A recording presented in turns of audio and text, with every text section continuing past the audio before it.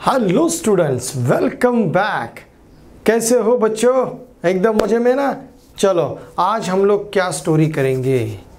हम लोग आज करने वाले हैं आपका फोर्थ चैप्टर सिक्स स्टैंडर्ड का फोर्थ चैप्टर तो ये फोर्थ चैप्टर किस बारे में? इट्स अबाउट द डिजास्टर्स चलो, अपने बुक्स ओपन कर लो, फटाफट।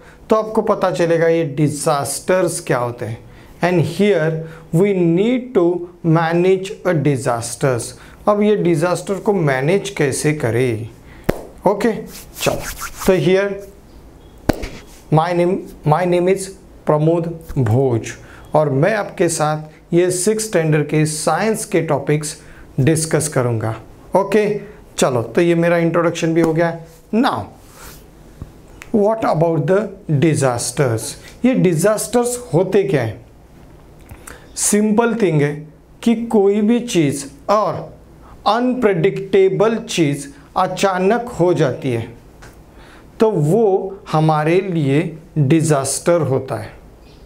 अब, जब ये डिज़ास्टर पूरी कम्युनिटी के साथ हो रहा है मीन्स पूरी सोसाइटी के साथ हो रहा है, स्टेट के साथ हो रहा है, या पर्टिकुलर एरिया के साथ हो रहा है। तो इसका जो इंटेंसिटी होती है, क्या होती है? इंटेंसिटी वो बहुत बड़ी हो जाती है। एक आदमी के साथ डिजास्टर हो, यानी एक्सीडेंट हो गया तो वो सिर्फ़ उसके रिलेटेड हो गया, या उसके फैमिली के रिलेटेड हो गया। But when there is earthquake earth is a natural चीज़ है। ये अर्थवेक क्या है? एक नेचुरल इवेंट होता है और जो बहुत सारे लोगों के लाइफ के ऊपर अफेक्ट करता है। यहाँ पे loss of property loss of lifes ये दोनों मेन चीज़ें यहाँ पे होने वाली है। Next after this disaster there are also some adverse effects उसके बाद भी बहुत सारे एडवर्स इफ़ेक्ट्स होते हैं चलो मैं एक अपनी एक स्टोरी बताता हूँ मैं जब पढ़ाई कर रहा था मीन्स कॉलेज में था हुँ? हम्म, उस टाइम पे हम लोग मेरे कलीग्स थे मीन्स मेरे बच्चे थे मीन्स हम लोग जो स्टूडेंट्स थे वो सारे लाइब्रेरी में पढ़ने जाते थे क्योंकि हमारे घर में बहुत शोर होता था छोटा घर होता था तो वो बहुत शोर होता था। तो वहाँ पे एक लाइब्रेरी होती थी, जहाँ पे हम लोग पढ़ने जाते थे। अब जब हम लोग वहाँ पे पढ़ने जाते थे तो वहाँ पे लाइब्रेरी में आपने देखा होगा स्टडी लाइब्रेरीज होती है, जहाँ पे बच्चे आके पढ़ते हैं। बट वहाँ पे कोई शोर नहीं होता है, कुछ नहीं कुछ नहीं। शांति से अपना अपना पढ़ाई करते हैं। That is a concentrations okay अब हम जो दोस्त बैठते थे ना, वो डिफरेंट डिफरेंट बेंचेस के ऊपर बैठते थे। अब मुझे जब किसी दोस्त को कोई भी सिग्नल देना है कि बाबा, मैं बाहर जा रहा हूँ, या मुझे रुकना है, या मुझे घर पे जाना है तो यहाँ पे मैं उसे कोई भी इशारा वगैरह नहीं कर सकता। लैब में वो बहुत स्ट्रिक्ट होता है। ओके तो वहाँ पे एक इंस्ट्रक्टर होता है, जो वो सब चेक देखते रहता है कि बच्चे पढ़ाई कर रहे हैं या टाइम पास हम्म तो यहाँ पे क्या हुआ कि हम लोग एक निशानी करते थे क्या? कि हमारे पास एक पेन था ना, सबके पास एक एक पेन होता है। हम्म उस पेन को हम अपने डेस्क के ऊपर खड़ा रखते थे। क्या रखते थे? खड़ा रहता था। तो जिसका फ्लैट सरफेस होता है, ऐसे पेन इजीली स्टैंड हो जाते। तो उसे हम लोग इस तरह से स्टैंड रखते थे। ओके? और जब हमें वहाँ से निकलना है ओके? अभी आ, बहुत कंटल आ गया। तो हम लोग ग्रुप में ही जाते थे ग्रुप में ही आते थे। तो उस पेन को हम लोग डाउन कर देते थे। मीन्स स्लाइड कर देते थे। तो जो दूसरा बच्चा देखता था मेरे जो फ्रेंड्स देखते थे तो उनको पता चल जाता था कि अभी ये थक गया है, अभी इसे जाना है। तो बाकी लोग भी अपने जो टॉपिक्स थे, वो कंप्लीट कर लेते थे और फिर हम लोग साथ में निकलते थे। बाकी लोग भी अपने पेन अपने हिसाब से डाउन करते थे। तो उस तरह से हमारा कम्युनिकेशन चलता था। ओके अब यहाँ पे क्या हुआ कि एक दिन क्या हुआ, हम लोग बैठे, पढ़ाई कर रहे। अप्रॉक्सीमेट ये टाइमिंग था एक दस ग्यारह का टाइमिंग था। दस ग्यारह बजे सुबह का टाइमिंग था। हम लोग पढ़ाई कर रहे हैं। हम्म, और ये पढ़ाई करते वक्त हमारा डेस्क था ना वो थोड़ा हिला और मेरा पेन जो स्टैंडिंग था वो गिर गया। जो मेरे सारे दोस्त थे ना उनके भी पेन गिर गए। और उसके बाद बहुत ट्रेमर क्रिएट हुआ। मीन्स शेकिंग होने लगा। हमारे ऊपर जो फ़ैन होता है, वो भी हिल रहा है। ट्यूबलाइट्स तभी हमारे यहाँ पे बहुत हाइट होती थी तो वो हैंग में होती थी। ट्यूबलाइट्स क्या होती थी? हैंगिंग में होती थी। तो वो भी मूव हो रही थी। तभी हमारे इंस्ट्रक्टर ने डायरेक्ट हमें चिल्लाया वो कि बेंच के नीचे बैठ जाओ। क्या हुआ? बेंच के नीचे बैठ जाओ। मीन्स हम जहाँ पे बैठे थे, उसके बेंच के डेस्क के नीचे बैठ जाओ। हम लोग तुरंत सब ऊपर ही था, हम लोग नीचे जाके बैठ गए। हमें पहला समझ में नहीं आ रहा था कि ये एक्चुअली हुआ क्या। कम से कम अप्रॉक्सीमेट ये एक मिनट तक चला। शेकिंग फिर रुक गया। उस रुकने के बाद भी वो इंस्ट्रक्टर जो भी हम लोग बच्चे उठने की कोशिश कर रहे थे तो उसने कहा कि नो डोंट मूव तो मूव मत करो। आफ्टर टू थ्री मिनट के बाद फिर एक झटका आया।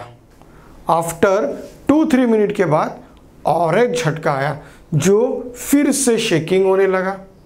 और वो बहुत छोटा था। वो टाइमिंग उसका बहुत फ्रैक्शन में टाइमिंग था मीन्स अप्रोक्सीमेट रहेगा ज़्यादा से ज़्यादा थर्टी सेकेंड का। वो थर्टी सेकेंड के शेकिंग था और वो रुक गया। और उसके बाद, थोड़ी देर के बाद इंस्ट्रक्टर ने कहा, चलो कम आउट तो हम लोग बाहर आ गए। पहले उसने सब चेक किया, कुछ गिरा तो नहीं। कुछ शेल्फ से बुक थी, वो नीचे गिर गई थी। ओके अब हमें उन्होंने उन्होंने कहा कि अगर आपको घर पे जाना है, क्योंकि हम लोग डर गए थे कि एक्चुअली ये हुआ क्या। तो उन्होंने बताया कि दिस इज़ अ अर्थवेक अब ये अर्थवेक कहाँ पे हुआ, कैसे हुआ, क्यों हुआ, ये पता नहीं था। ये पता नहीं था। तो दिन में अर्थवेक मैंने जो महसूस किया था, वो वो था, जो हुआ था भुज में, मैं रहता हूँ मुंबई में जो गुजरात में था, वहाँ पे वो अर्थवेक हुआ था और उसकी जो लहर थी, वो पूरे महाराष्ट्र तक इवन दिल्ली तक पहुँच गई थी। मीन्स जो अर्थवेक होता है, उसकी जो इंटेंसिटी मीन्स जहाँ पे फोकस एपिसेंटर होता है, वहाँ से वो बहुत दूर तक फैलता है। ओके ये हम लोग ने उस टाइम पे ये देखा था। उससे पहले मैंने 93 के आसपास जब मैं आ, जस्ट टेंथ पास आउट हो गया था और टेंथ का ये दिया था और मैं तभी इसमें था कॉलेज में था। उस टाइम पे तो रात में हुआ था रात में अप्रोक्सीमेट ये एक डेढ़ बजे के आसपास हुआ था। उस टाइम पे हमारे ऊपर जो भी फ़ैन था हमारे ऊपर एक कबोर्ड था मीन्स ऐसा शेल्फ जैसे था। वो शेल्फ में कांच लगी थी। क्या थी? कांच। वो रात में हिलने लगी शेक होने लगी। बहुत आवाज़ हो रहा था। वो शेकिंग का बहुत आवाज़ हो रहा था। मैं उठ गया, देखा हिल रहा है। उसी में मैंने अपनी खिड़की में से बाहर देखा। क्या हो रहा है एक्चुअली देखा तो सामने की बिल्डिंग एक वेव की तरह हिल रही थी। मेरे अपोजिट बिल्डिंग वेव की तरह हिल रही थी। सब जगह पे लाइट्स चालू हो गई थी, सब लोग भाग रहे थे। अब भागने का कोई ये नहीं था। मैं गया चद्दर लेके सो गया, क्योंकि मैं बहुत डर गया था। उस टाइम पे मैं बहुत डर गया था, क्योंकि ये मेरा पहला एक्सपीरियंस था और दूसरा एक्सपीरियंस मेरा जो डेस्क पे हुआ था। वो उस टाइम पे मेरे साथ कोई इंस्ट्रक्टर था। अब यहाँ पे उस रूम में मैं अकेला सोया था और यहाँ पे कोई नहीं था उस दिन घर पे। अब ये जो शेकिंग था वो मेरे लिए बहुत था और ये हुआ था लातूर में। तभी कहाँ हुआ था। महाराष्ट्र के लातूर में ये भूकंप हुआ था और ये इतना बड़ा था कि उसकी वेव्स ओशन तक मीन्स अरब अरेबियन सी तक पहुँच चुकी थी। तो उसमें भी लहरें उठी थी because of this disaster this is earthquake ये अर्थवेक था। ओके okay, अब 2004 में एक भूक अर्थवेक हुआ था, जो हमसे बहुत दूर था। इसके एपिसेंटर जापान के पास था, जिसकी वेव्स हम तक, इंडिया तक बहुत माइन्यूट हुई। मींस वो पता भी नहीं चला था। वो एक्चुअली पता ही नहीं चला, क्योंकि हम लोग ट्रैवलिंग में थे और कहीं जा रहे थे। तो उसमें हमें पता ही नहीं चला कि एक्चुअली हो गया। टीवी पे न्यूज़ आने लगी। कि यहाँ पे हुआ and then it start the ये सुबह सुबह हुआ था। और अप्रोक्सीमेट चार से पाँच घंटे के बाद ही सुनामी स्टार्ट हो गई। कहाँ पे? जापान में। जापान में जो सुनामी क्रिएट हुई थी जेट इज़ वेव्स क्रिएट हुई थी समुद्र में दैट इज़ ओशन में, ये ओशन की लहरें till the Philippines Australia and कुछ लहरों ने अंडमान निकोबार आइलैंड्स तक ट्रैवल किया था। इतने दूर तक इन्होंने ट्रैवल किया था और वहाँ तक वो लहरें आ गई थी। पर यहाँ तक हमें उतना वो इंटेंसिटी महसूस नहीं हुई। बट जापान में उसकी इंटेंसिटी बहुत थी। ये अप्रॉक्सीमेट 9.2 का रिटर स्केल का अर्थवेक तो ये हो गए डिजास्टर जो प्रडिक्ट ही नहीं किए जाते, वो हम लोग कितना भी ये करो, हमें प्रडिक्शन कर कर ही नहीं सकते। बिकॉज़ ये कहाँ पे हो रहे? इंटरनल ग्राउंड ये अर्थ के अंदर हो रहे। हैं तो उसको प्रडिक्शन नहीं हो रहे। दूसरे होते disasters like storm thunder storms बाढ़ आती है ड्रॉट होता है तो ये सारे डिजास्टर्स होते हैं। और जिस वजह से योर लाइफ ये अनइवन हो जाती है मीन्स जो रेगुलर चल रहा है, उसमें चेंजेस आ जाते हैं। तो ये हमारे लिए डिजास्टर्स होता है। डिजास्टर क्यों होगा? Because it will change your pattern of life life का पैटर्न वो चेंज कर देंगे। ओके okay? तो ये सारी चीज़ें हमें कुछ ना कुछ बताती है। That is nature is a king हमारे आजू बाजू में जो नेचर है ना, यही किंग है, जिसे हम ह्यूमन बींग्स को लगता है हम इसे कंट्रोल कर रहे हैं। नो कुछ जगह पे वो खुद को आपके हवाले कर देते पर जब ये उनके हाथ में चला जाता है, तब वो कुछ भी कर सकते हैं, क्योंकि उसकी ताकत बहुत बड़ी होती है। तो यही डिज़ास्टर्स क्या करते बहुत सारे मीन्स मैंने जो दो अर्थवेक देखे, उसमें इतनी तबाही देखी। मीन्स टीवी पे न्यूज़पेपर में ये जो पिक्चर्स आते थे तभी न्यूज़पेपर थे। तो न्यूज़पेपर में जो पिक्चर्स आते थे, वो बहुत ही डरावने थे कि बड़ी बड़ी बिल्डिंग्स घर, कितने लोग, जानवर अपनी लाइफ खो दिया। That is they are tide तो ये बहुत, कितने लोग? मीन्स ऐसे भी होते कि जिसके कोई भी, सिर्फ़ घर में एक बच्चा बचा है, बाकी सारे लोग मर गए। एक बच्चा बचा। अभी इस, ये दो महीने के, तीन महीने के बच्चे को बचाने की कोशिश में सारे लोग मर गए। वो तो बच गया। अब ये दो महीना, तीन महीने का बच्चा करेगा क्या? तो दिस इज़ अ डिज़ास्टर ये लाइफ के लिए बहुत बड़ा डिज़ास्टर होता है। और इसे कंट्रोल नहीं किया सक, जा सकता। But it can be we can be save from this disaster जैसे मैंने बताया कि हमारे इंस्ट्रक्टर ने तुरंत ऑर्डर दिया, वो चिल्लाया ज़ोर से डेस्क के नीचे बैठ जाओ। मीन्स जो बेंचेस थे हमारे बैठने के, उसके नीचे बैठ जाओ। जब मैंने उसके बारे में पढ़ा तो this is a first precaution था, जब डिज़ास्टर या कुछ भी होता है तो ऊपर से गिरने वाली चीज़ें सबसे ज़्यादा होती है। हमारे ऊपर लाइट, फैंस वगैरह थे। अगर वो गिर जाए तो क्या होगा? तो पहले ही हमारे सर पे आकर इंजरी हो जाएगी। तो इसी को बचाने के लिए, इससे बचने के लिए हमें उसने डेस्क के नीचे जाने को कहा, जो मज़बूत होते और उसे होल्ड कर सकते हैं। बराबर? पर भगवान की दया थी, ऐसे कुछ भी नहीं हुआ। कुछ बुक्स थे शेल्फ से नीचे गिर गए थे, जहाँ पे कोई भी बच्चे बैठे नहीं थे।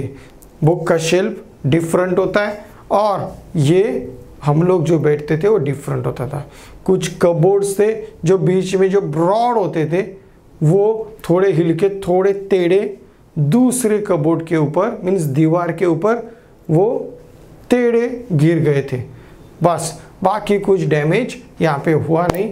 तो हम लोग यहाँ पे, मैंने वो एक्सपीरियंस किया था दैट इज़ डिज़ास्टर ये डिज़ास्टर चलो, अभी मैंने आपको एक माइंड सेट दे दिया डिज़ास्टर कितने खतरनाक हो सकते हैं। बराबर? आपको माइंड सेट हो गया? चलो, अब अपने बुक्स में चलते हैं कि डिज़ास्टर्स को मैनेज करना क्यों ज़रूरी है। तो यहाँ पे देखिए here is a building cracks हो रही है। बहुत सारी बिल्डिंग्स होती है जो मुंबई में भी बहुत सारे जो न्यू इंसिडेंट्स हुए तो जहाँ पे बिल्डिंग्स बहुत पुरानी हो जाती है या कोई ट्रेमर से या कुछ भी चीज़ों से वो क्या हो जाती है, क्रैक के वजह से गिर जाते हैं या अर्थवेक। अर्थवेक की वजह से सडन शेकिंग क्या होती है, शेकिंग होती है और ये शेकिंग की वजह से ये गिर जाएँगे। Here is a picture of drought क्या है? ड्रॉट सूखा पड़ गया है। सन दिख रहा है ना? ओके सन पावर खींच रहा है। वेपराइजेशन होता है। हम लोग ने साइंस में पढ़ा है। वेपराइजेशन हो रहा है। तो यहाँ पे पेड़ भी सूख गए हैं। एंड इवन लैंड ऑल्सो इसका उल्टा यहाँ पे हो गया।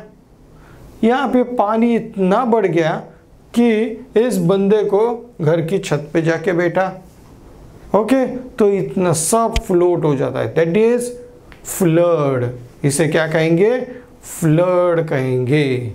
Next it is a fire this fire fire के रीजन डिफरेंट डिफरेंट होते हैं। फायर के रीजंस बहुत डिफरेंट डिफरेंट हो सकते हैं। बट इफ़ेक्ट सेम होगा। Loss of property and life it's a storm दूसरा क्या ये? स्ट्रॉम है। अब ये स्ट्रॉम क्या होगा? Because of the wind flow wind flow में क्या होता है? कि here they make the low pressure belt यहाँ पे कहीं पे लो प्रेशर बेल्ट क्रिएट हो गया। And here wind start flowing towards that direction and because of that flowing it's make the storm ये स्ट्रॉम क्रिएट करेगी। Okay next it is a volcanic eruption volcanic eruption जो earth के अंदर magma है, जो उबल रहा है या लावा है, वो प्रेशर से फिशर से बाहर आ जाता है।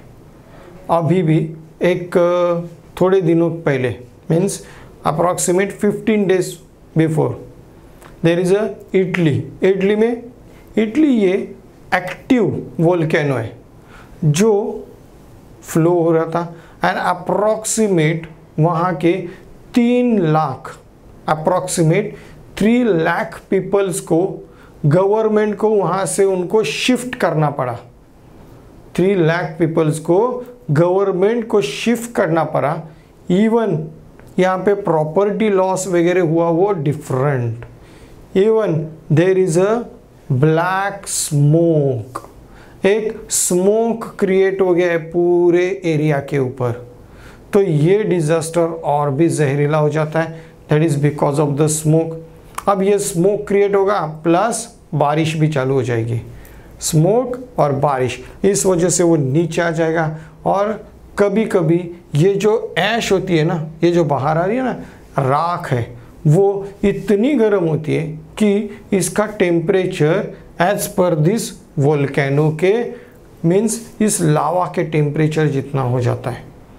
तो जिस, जिसको सिर्फ़ हमारे स्किन को टच करते ही हम बर्न होने जाएँगे, हो जाएँगे तो इतना वो टेम्परेचर हैवी होता है। तो ये भी एक डिज़ास्टर होता है, जिसको हम लोग प्रेडिक्ट नहीं कर पाते। अब प्रेडिक्शन कहाँ पे हो रहा है? कि दिस इज़ ये ये प्रेडिक्शन कर सकते हैं विद द डेटा जो मेट्रोलॉजिकल डिपार्टमेंट है, वो इनको इनको प्रेडिक्ट कर लेगा। देन इसको प्रेडिक्ट कर सकते हैं बिकॉज़ ये एक्सीडेंट्स होंगे। बहुत बार तो एक्सीडेंट्स के वजह से ही आग लगती है। स्ट्रॉम्स को प्रेडिक्ट किया जा सकता है। Meteorological department can give the information about the storms but earthquake and volcanic eruptions को हम लोग नहीं प्रेडिक्ट कर पाते, क्योंकि हमारे पास उतना डेटा नहीं है कि हम इसे प्रेडिक्ट कर पाए कि यहाँ तक हो सकता है। Only we know the volcanic और earthquake prone area earthquake prone area हमें पता है कि कहाँ कहाँ पे अर्थवेक हो सकता है। तो वो एरिया पता है। बट कभी होगा होगा या नहीं होगा, ये हमें पता नहीं है। और इनके बीच का जो डिस्टेंस होता है ना मीन्स एक बार अर्थवेक होने के बाद दूसरी बार अर्थ अर्थवेक ये तुरंत नहीं होने वाला।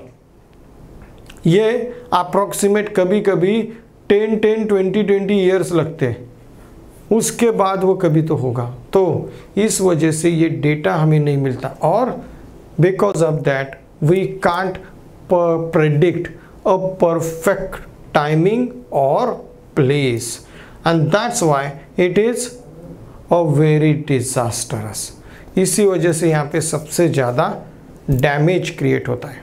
Okay okay? चलो। तो here some events and your experience तो मैंने ये एक्सपीरियंस किया है। ये अर्थवेक का जो एक्सपीरियंस है, वो मैंने किया है। ड्रॉट का एक्सपीरियंस जब मैं बहुत छोटा था, ये किया हुआ है। तो ये दोनों एक्सपीरियंस मैं कर चुका हूँ। बाकी फ्लड ये एक्सपीरियंस हमने किया नहीं है। तो मुझे उसकी इंटेंसिटी एक्सपीरियंस से पता नहीं। तो बट ये एक्सपीरियंस हमें परफेक्टली पता है। चलो disaster in 1993 many people dies to the earthquake in Killari Latur district ये 93 की बात है। तो किलारी लातूर डिस्ट्रिक्ट वो भी मुंबई में जो मैंने बताया था, रात में हुआ था। ये नाइट में हुआ था। Even today Mumbai is a memory of 2005 is a people lost life of the lurch and the heavy rain. Okay, yes. ये फ्लड का भी मैंने देख लिया था। दैट इज़ मुंबई में 2005 में बहुत बाढ़ आ गई थी। मीन्स ये अप्रॉक्सीमेट टेन आवर्स में ही टेन आवर्स में 900 हंड्रेड एम से ऊपर बारिश हो गई थी। और ये बारिश के वजह से यहाँ पे वाटर ब्लॉकेज हो गए क्या हो गए? वाटर ब्लॉकेज और पूरी ट्रेन, कार सब रुक गए। रोड के ऊपर बहुत सारे डिजास्टर बहुत सारे लोगों के घर में पानी घुस गया था। बहुत सारे लोगों के बीच घर में पानी घुस गया था। उस टाइम पे मेरे एक रिलेटिव से मीन्स मेरे भाई था, जो एक जगह पे फंसा था, उसकी फैमिली के साथ। और वो जहाँ पे थे, वहाँ पे बहुत पानी भरने लगा था। तो उस टाइम पे मुझे मैसेज आया कि फ़ोन आया कि, भैया, मैं यहाँ पे फंसा हूँ। उस टाइम पे मैं बाहर निकला था। तभी मैं अपनी गाड़ी लेके बाहर निकला। देखा पानी बहुत है। उसी से ही गाड़ी को, गाड़ी उसी पानी में से मैं दौड़ा के लेके गया। उनको घर पे लेके आया। ओके? और वापस आने के बाद फिर मेरी गाड़ी बंद हो गई। तो मेरी वो गाड़ी चेतक का काम किया था उसने कि उसने उस डिज़ास्टर में मुझे लेके गई। मेरे भाई और मेरे फैमिली को वो वापस लेके आई। हम लोग घर पे आके, सुरक्षित मेरे घर पे आके वो सेफ़ हो गए। बट उसके बाद दूसरा दिन जब मैं गाड़ी स्टार्ट कर रहा हूँ तो गाड़ी चालू ही नहीं हो रही। क्यों? बिकॉज़ उसके गाड़ी के अंदर इंजन तक पानी घुस गया था। क्या हो गया था? पानी घुस गया था। तो उसके बाद जो गाड़ी ने मेंटेनेंस निकाला, वो बहुत बड़ा था। क्योंकि इंजन तक पानी चला गया था। ओके तो ये सारी चीज़ें क्या देती है हमें? हमें एक माइंड सेट मिल गया। मीन्स मुझे एक एक्सपीरियंस मिल गया कि ये फ्लड में भी क्या हो सकता है। कि हम लोग अपने लोगों को बचाने के लिए बहुत कोशिश करते हैं। और उसमें कभी कभी हम अपनी खुद की जान की परवाह भी नहीं करते। इवन अभी भी बहुत सारे जगह पे उत्तराखंड, जो हिमालयन के, हिमालयन माउंटेन के नीचे के साइड में। तो यहाँ पे जब बारिश होती है ना, मानसून, इंडिया में मानसून रीजन जब रिटर्न मुड़ता है ना रिटर्न जाने के लिए, तभी वहाँ पे सबसे ज़्यादा बारिश होती है। वहाँ पे सबसे ज़्यादा बारिश होती है बिकॉज़ क्लाइमेट चेंज हो रहा है। और इस वजह से यहाँ पे बारिश and cloud blasting cloud bursting होता है। तो ये बारिश की वजह से वहाँ पे हर साल मीन्स हर एक दो साल में वहाँ पे फ्लड आता ही है और वहाँ की रिवर्स बहुत बड़ी और बहुत ख़तरनाक है। वो पूरी की पूरी जो इस साइड में जितने गाँव है ना, उनको भी बहा के लेके जाते हैं। इतने फोर्स में पानी होता है।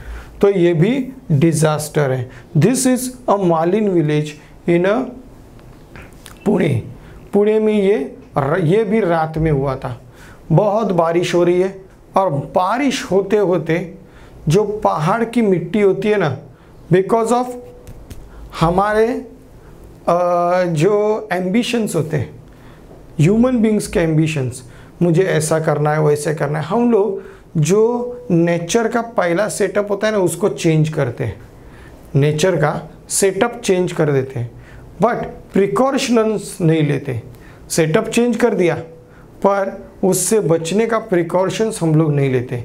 और इसमें मिट्टी पूरी ढीली हो गई थी, गीली हो गई और ये फ्लो हो गई पूरे एक गाँव के ऊपर।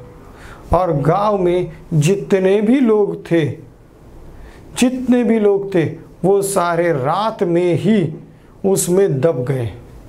गाँव में जितने भी घर थे, ये पहाड़ों में गाँव था तो ये ऊपर से जो मिट्टी आ गई, वो पूरी उसमें दब गई। तो ये दब गई। एक भी आदमी उसमें बचा नहीं, पूरा का पूरा गाँव उसके नीचे दब गया। तो ये था मालिन विलेज। तो पूरा कीचड़ वगैरह हो गया था। That is a Malin village Pune district the matter mind okay ये 2015 में होता। People is died due to the flooded and causes the heavy rain तो what is a disaster? A sudden event cause large scale damage of life sudden event, कोई भी चीज़ अचानक हो जाती है, हमें पता नहीं है। तो नॉन प्रिडिक्टेबल वो क्या हो गई? नॉन प्रिडिक्टेबल तो ये क्या हुआ? That is damage of life तो लाइफ डैमेज हो गई। Second property and social aspects of nation और सोसाइटी तो ये भी सब कुछ डैमेज हो गया। मीन्स वहाँ पे आज भी कोई भी घर बनाने को नहीं जाता है। क्यों? बिकॉज़ यहाँ पे जो डैमेज हुआ है, उसकी यादें उसमें जुड़ी हुई है। ओके तो ये यादें होती है। हमारे साथ मैंने जब आपके साथ जो यादें शेयर की, आज भी मेरे साथ वो यादें अभी भी है कि उस टाइम पे मैंने क्या क्या किया था और उस टाइम पे मैं किस तरह से बच के निकला था। तो वैसे मुंबई में अभी तक इतना बड़ा डिज़ास्टर ऐसे हुआ नहीं। मुंबई में सिर्फ़ होते तो क्या होते? Disaster like bomb blast terrorist attacks ये सबसे ज़्यादा होते हैं। बट यहाँ के पीपल्स ऐसे कि उसे दो दिन में भुला देते, काम पे चलो। Okay the work is must हमें काम ज़रूरी है। चलो। How and why do the following disaster occurs क्यों होते हैं? तो पहला आ गया फ्लड, रेन के वजह से। दूसरा आ गया अर्थवेक, लाइटनिंग, वोल्केनिक इरप्शंस। ये भी नेचुरल है। फॉरेस्ट फायर नेचुरल होता है। कभी कभी मैनमेड हो सकता है बट मोस्ट नेचुरल क्योंकि समर में टेम्परेचर बढ़ चुका है। And friction of a branches branches में फ्रिक्शन होता है, एक चिंगारी एक चिंगारी सिर्फ़ उस सूखी हुई घास में पड़ते ही वो जलने लगती है। Increase the risk due to the high density of population high density of population जितना डेंसिटी पॉपुलेशन ज़्यादा होगा, उतना ही डैमेज सबसे बड़ा होता है। सबसे बड़ा होगा। डैमेज उतना ही बहुत सीवियर हो जाएगा। Then rampant and the irregular construction कहीं पे भी कुछ भी बनाया जा रहा है, जैसे मैंने मालिन के बारे में बताया कि हम लोग अपने घर बनाने का फार्म हाउस बनाने का, ये करने का, वो बहुत बड़े सपने होते हैं। बट यहाँ पे नेचर के साथ हम लोग खेलते हैं। तो यहाँ पे प्रॉब्लम्स क्रिएट होते हैं। इकोलॉजिकल इम्बैलेंस बैलेंस चेंज हो गया। Then terrorism riots crime bomb blast ये सारी चीज़ें मैंने तो एक्सपीरियंस कर लिए टेररिज्म देखा हुआ है बॉम्ब ब्लास्ट देखा हुआ है riots Hindu, Muslim riots Mumbai में बहुत दंगे हुए थे तो उसमें भी हम लोग देख चुके ये सब कुछ। तो ये सारी चीज़ें ना, ये इतनी भयानक होती है, जो ह्यूमैनिटी है ना ह्यूमैनिटी जो उसको हम लोग तोड़ देते हैं ह्यूमैनिटी को तोड़ देते एक्चुअली यहाँ पे डिज़ास्टर ऐसा कुछ नहीं this is a man made disaster ये मैन मेड डिज़ास्टर होता है. कुछ लोग अपने फ़ायदे के लिए कई लोगों को बर्बाद कर देते हैं. ये यहाँ पे है. Okay next disaster are two main kinds man made and natural तो मुझे यहाँ पे क्या मिला? कुछ डिज़ास्टर्स मैन मेड होते और कुछ डिज़ास्टर्स नेचुरल हैं। तो मैनमेड और नेचुरल इसमें फ़र्क क्या होगा? Man made disasters it is because of the human intervention in the nature nature के, नेचर में हम लोग जो भी इंटरवेंशन कर रहे हैं मीन्स क्या कर रहे हैं? उसको चेंज करने की कोशिश कर रहे हैं ना, इस वजह से होगा। ओके और जो नेचुरल होगा this is because of the nature nature में कुछ इवेंट्स होंगे और इस वजह से वो क्रिएट होता है। जैसे सिंपल थिंग एक एसिड रेन होती है। एसिड रेन एसिड रेन होती क्यों है? तो this is because of the pollution जब पोल्यूशन लेवल बढ़ गया तो एसिड रेन होती है। अब ये पोल्यूशन किसने क्रिएट किया? मैन मेड है। Pollution created man made and इसका रिएक्शन हो गया एसिड रेन जो नेचुरल है। ये एसिड रेन क्या डैमेज करता है? सॉइल को डैमेज करेगा। अपने घरों को डैमेज कर देता है ओके तो ये बहुत हार्मफुल होता है ओके तो यहाँ पे मुझे मिल गई दो चीज़ें man made and natural disasters तो मोस्टली अर्थवेक ये नेचुरल होता है। अर्थवेक हम लोग क्रिएट नहीं कर सकते। हाँ सिर्फ़ अर्थवेक में हम लोग एक वाइब्रेशन क्रिएट करते हैं। यूएस ने सबसे पहले ये किया था। चलो तो अभी नेक्स्ट पेज पे आ गए नेक्स्ट पेज पे क्या देखेंगे? How and why do following disaster occur why did the following disaster occur ये डिजास्टर होते हैं बराबर? बट वाई डिड ये क्यों हो रहे ओके okay? ये क्यों हो रहे दिस इज़ अ इंपॉर्टेंट अब जब उसे मुझ, मुझे उसका रीज़न पता चलेगा तभी we can control this disasters we can control this disasters okay तो here flood due to heavy rain flood हो रहा है। तो ये फ्लड क्या होगा? बिकॉज़ ऑफ़ हेवी रेन पानी बहुत आ गया तो फ्लड हो गया। जैसे आ, एक एग्जांपल था देर इज़ अ मुंबई में 2005 में बहुत सारे वाटर ब्लॉकेज हो गए थे। और अप्रॉक्सीमेट 900 टू 950 एम mm तक बारिश हो गई थी। विद इन टेन आवर्स में।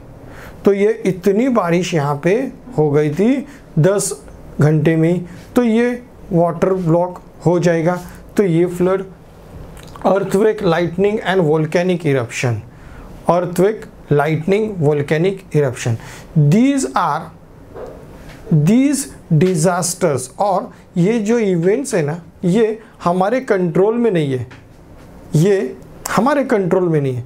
जो हमारे कंट्रोल में है, उसे हम लोग कंट्रोल कर पाएँगे। But these are not our control ये हमारे कंट्रोल में नहीं होंगे।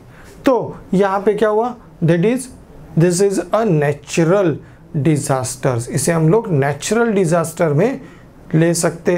लाइटनिंग है वोल्केनिक इरप्शन है all this things next forest fire तो फॉरेस्ट फायर ये मैनमेड भी होती है एंड ऑल्सो अ नेचुरल ये नेचुरल भी होती है। दोनों चीज़ों में ये फॉरेस्ट फायर आ जाती है। Next increase the risk due to the high density of population यहाँ पे जब भी डिज़ास्टर होता है डिज़ास्टर होगा on that time there is increase of the population population के इंक्रीजिंग के वजह से और द डेंसिटी ऑफ़ पॉपुलेशन के वजह से दैट डिज़ास्टर ये और हॉरिबल हो जाता है। क्या हो जाता है? बहुत डेंजरस हो जाता है। Okay then the rampant and the irregular construction कहीं पे भी हम लोग घर बना देते हैं, जहाँ पे फ्लड लाइनें रिवर की फ्लड लाइन होती है। आपको पता होगा कि रिवर की एक फ्लड लाइन होती है और इस फ्लड लाइन में ही हम लोग घर बना दे रहे हैं। ओके, अब ये रिवर की फ्लड लाइन और उसमें अगर घर बना रहे तो क्या होगा? फ्लड में तो हम लोग बहने वाले हैं। ओके तो ये हमारे वजह से हो रहा है। नदी का कोई, उस रिवर का कोई कसूर नहीं, वो तो अपने फ्लड लाइन में जा रही है। बट हमारे वजह से हम मुसीबत में आ जाते हैं। इकोलॉजिकल इम्बैलेंस इकोलॉजिकल हमारे यहाँ पे जो इकोलॉजी इकोलॉजी मीन्स क्या होता है? हमारा जो हैबिटेट है, जहाँ पे हम लोग रहते हैं तो वहाँ पे कुछ चेंजेस कर रहे हैं। हम लोग क्या कर रहे हैं? चेंजेस हो रहे हैं। And because of that because of that the incidents happen इसी वजह से ये इंसिडेंट्स होते हैं। Next is a terrorism riot and crime ये राइट्स टेररिज्म ये मुंबई में जब, जहाँ पे मैं रहता हूँ, यहाँ पे तो कोई इतना टेंशन नहीं होता है। राइट्स होते रहते हिंदू, मुस्लिम, सिख, ईसाई, ये सारे जो चीज़ें हैं ना this is created by the human being किसी एक ह्यूमन बीइंग के फ़ायदे के लिए बहुत सारे लोग लड़ते और इसमें इनोसेंट लोग मारे जाते हैं। इनोसेंट लोग।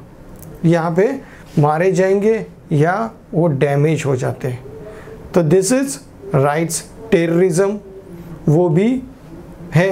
तो ये सारी चीज़ें होती हैं। हियर वी आर इसको हम डिवाइड करेंगे। We can divide this events in a man made and the natural man made and natural में इसे डिवाइड कर सकते हैं। ओके अब ये मैन मेड और नेचुरल में डिवाइड करेंगे तो आपको पता है कि मैन मेड कौन सी है? तो यहाँ पे flood due to heavy rain तो ये दोनों में भी आ सकता है। Because of the human intervention flood create होता है। Okay and heavy rain it is a man made earthquake eruptions volcanic eruption it's a natural forest fire natural as well as man made increasing risk जो population है man made irregular construction कौन कर रहा है man made ecological imbalance because of the changes और it's a man made भी हो सकता है और नेचुरल भी हो सकता है and last is a terrorism riots and crimes bomb blast वगैरह ये सारे मैन मेड है means here you know the different जो भी डिजास्टर्स हो रहे उसमें बहुत कम डिजास्टर्स ये नेचुरल है सबसे ज़्यादा तो हम ही अपने दुश्मन बने हुए हैं that is man made disasters तो मैन मेड डिजास्टर्स ये आ गए what is the definition that is, disaster are of two main kinds. That is man made and natural. तो अब हम लोग ने इसे डिवाइड कर दिया डिजास्टर देख लिए, फिर उसको डिवाइड कर दिया in man made and natural now here is a earthquake तो पहला हमें मिल गया अर्थवेग जैसे मैंने आपको स्टोरीज बताई थी कि ये अर्थवेग की वजह से क्या क्या हुआ था। तो बहुत सारे। अर्थवेग क्या होता है? एक सिंपल थिंग है। समझ लो, दो डेस्क है। क्या पकड़ लो? या दो बुक्स ले लो। दो बुक्स को पास पास रख दो। ओके अब ये दोनों बुक्स के ऊपर दो पेन खड़े करो। पेन मीन्स क्या होंगे? दिस इज़ अ बिल्डिंग्स क्या हो गई? बिल्डिंग्स जब तक ये दोनों बुक्स मूव नहीं हो रहे तब तक ये बिल्डिंग्स खड़ी है? यस यहाँ पे कोई मूवमेंट नहीं। अब एक बुक को धीरे से मूव करो। एकदम स्लाइट मूव करो। बिल्डिंग स्टार्ट द शेकिंग क्या होगी? शेक होगी। और दूसरी भी शेक होगी। क्यों? एक बुक हिलाया। बट दूसरी बुक क्यों? Because they are connected and here they create the friction इसने क्या कर दिया? एक बुक ने दूसरे बुक के साथ फ्रिक्शन कर दिया। And because of this friction create the energy and that is create the vibration ये वाइब्रेशन क्रिएट करते हैं। एंड दिस इज़ अर्थवेक अब ये वाइब्रेशन बहुत बड़ा होता है। बुक का वाइब्रेशन बहुत छोटा होगा। बट अर्थ में जो वाइब्रेशंस क्रिएट होते हैं, वो बहुत बड़े होते हैं। हियर अर्थवेक का मेन रीज़न है देर इज़ अ प्लेट यहाँ पे जो अर्थ वेक अर्थ है, ये जो कुछ सेवन प्लेट्स में डिवाइड की गई है। और ये प्लेट्स हमेशा एक दूसरे को फ्रिक्शन करती है। क्या करती है? फ्रिक्शन करती है। और बिकॉज़ ऑफ़ दीज थिंग्स इस इवेंट्स के वजह से most of the things ecological things होते हैं। कुछ जगह पे खाई बन जाती है ट्रेंच बनते कुछ जगह पे पहाड़ क्रिएट होते फोल्ड माउंटेन्स ओके तो you know the young fold mountain young fold mountain कौन है? सबसे यंग माउंटेन कौन है? It's our Himalayan mountain Himalayan mountain ये यंग फोल्ड माउंटेन माना जाता है। क्यों? बिकॉज़ ये अभी भी थोड़ा थोड़ा बढ़ रहा है। थोड़ा थोड़ा बढ़ रहा है। बिकॉज़ ऑफ़ हिमालयन माउंटेन के बीच में से एक प्लेट आती है जो इंडियन कॉन्टिनेंट को, उसने एशियन कॉन्टिनेंट के साथ ज्वाइन किया है। ओके तो ये एक प्लेट होती है और यहाँ पे अर्थवेक होता है।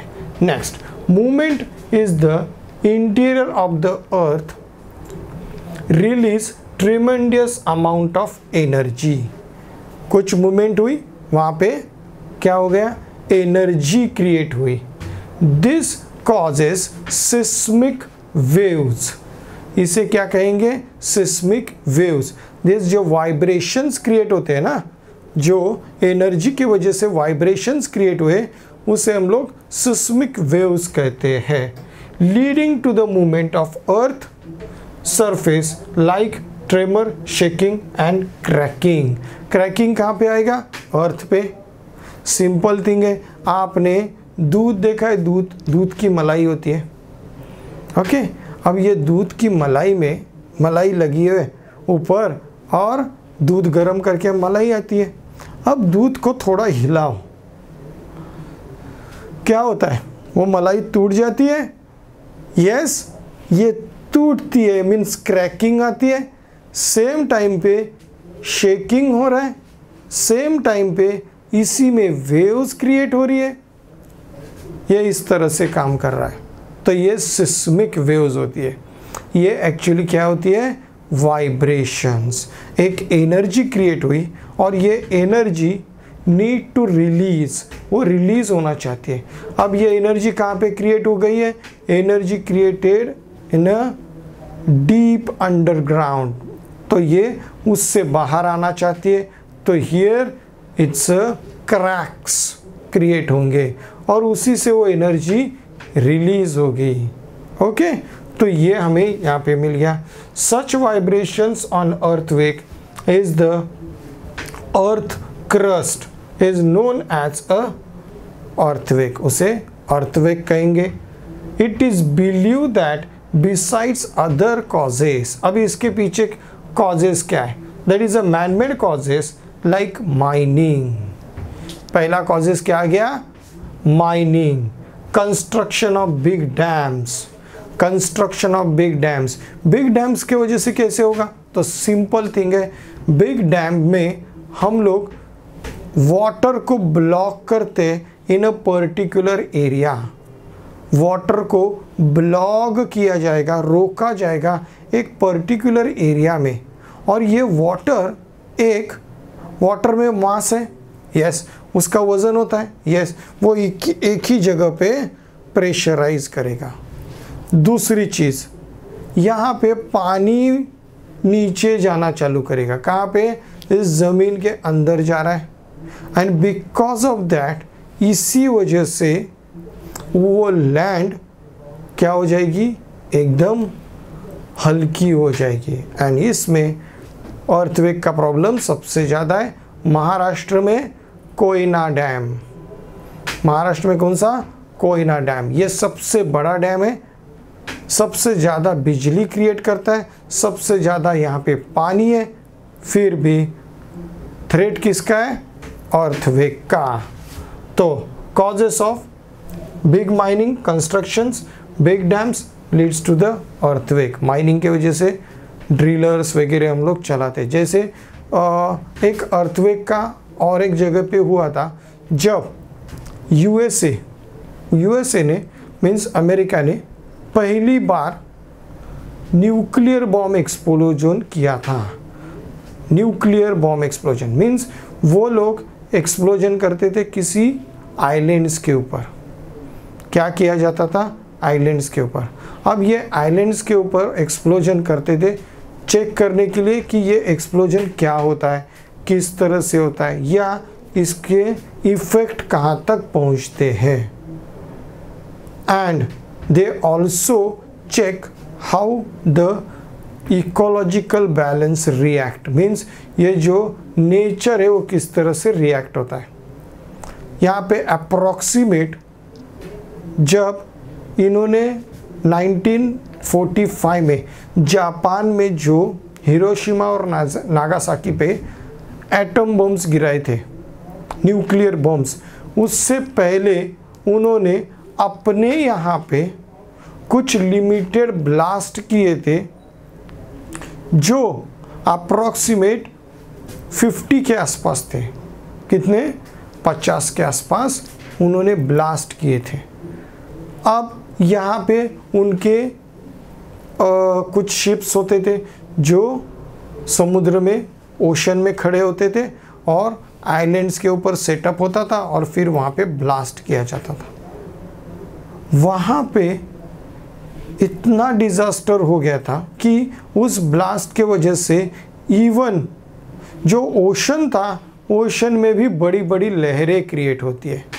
Means this blast also create a one vibration एक एनर्जी क्रिएट हो गई, और ये एनर्जी अर्थ के अंदर जा रही है।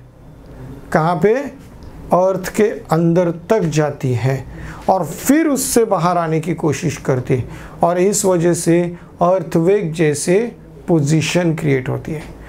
एंड ज़मीन से ऊपर लैंड से ऊपर जो भी होगा, उसे वो डिस्ट्रॉय कर देते हैं। Because of the waves shock waves और दूसरा है radiation shock waves and the radiation और इस वजह से डिस्ट्रॉय हो जाते हैं।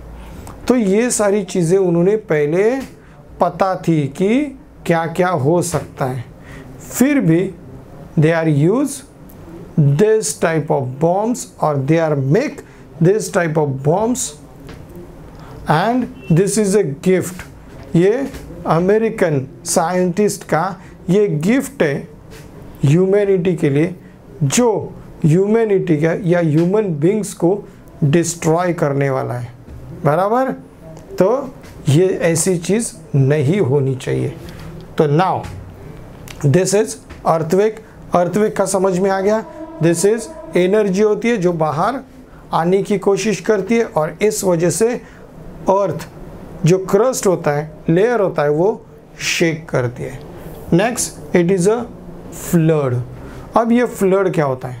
Flood is because of heavy rain cloud bursting और रिवर में जब पानी बहुत आ गया या कहीं पे डैम टूट गया तो डैम का पानी जो होगा रिज़र्व वाटर होगा तो वो आ जाएगा।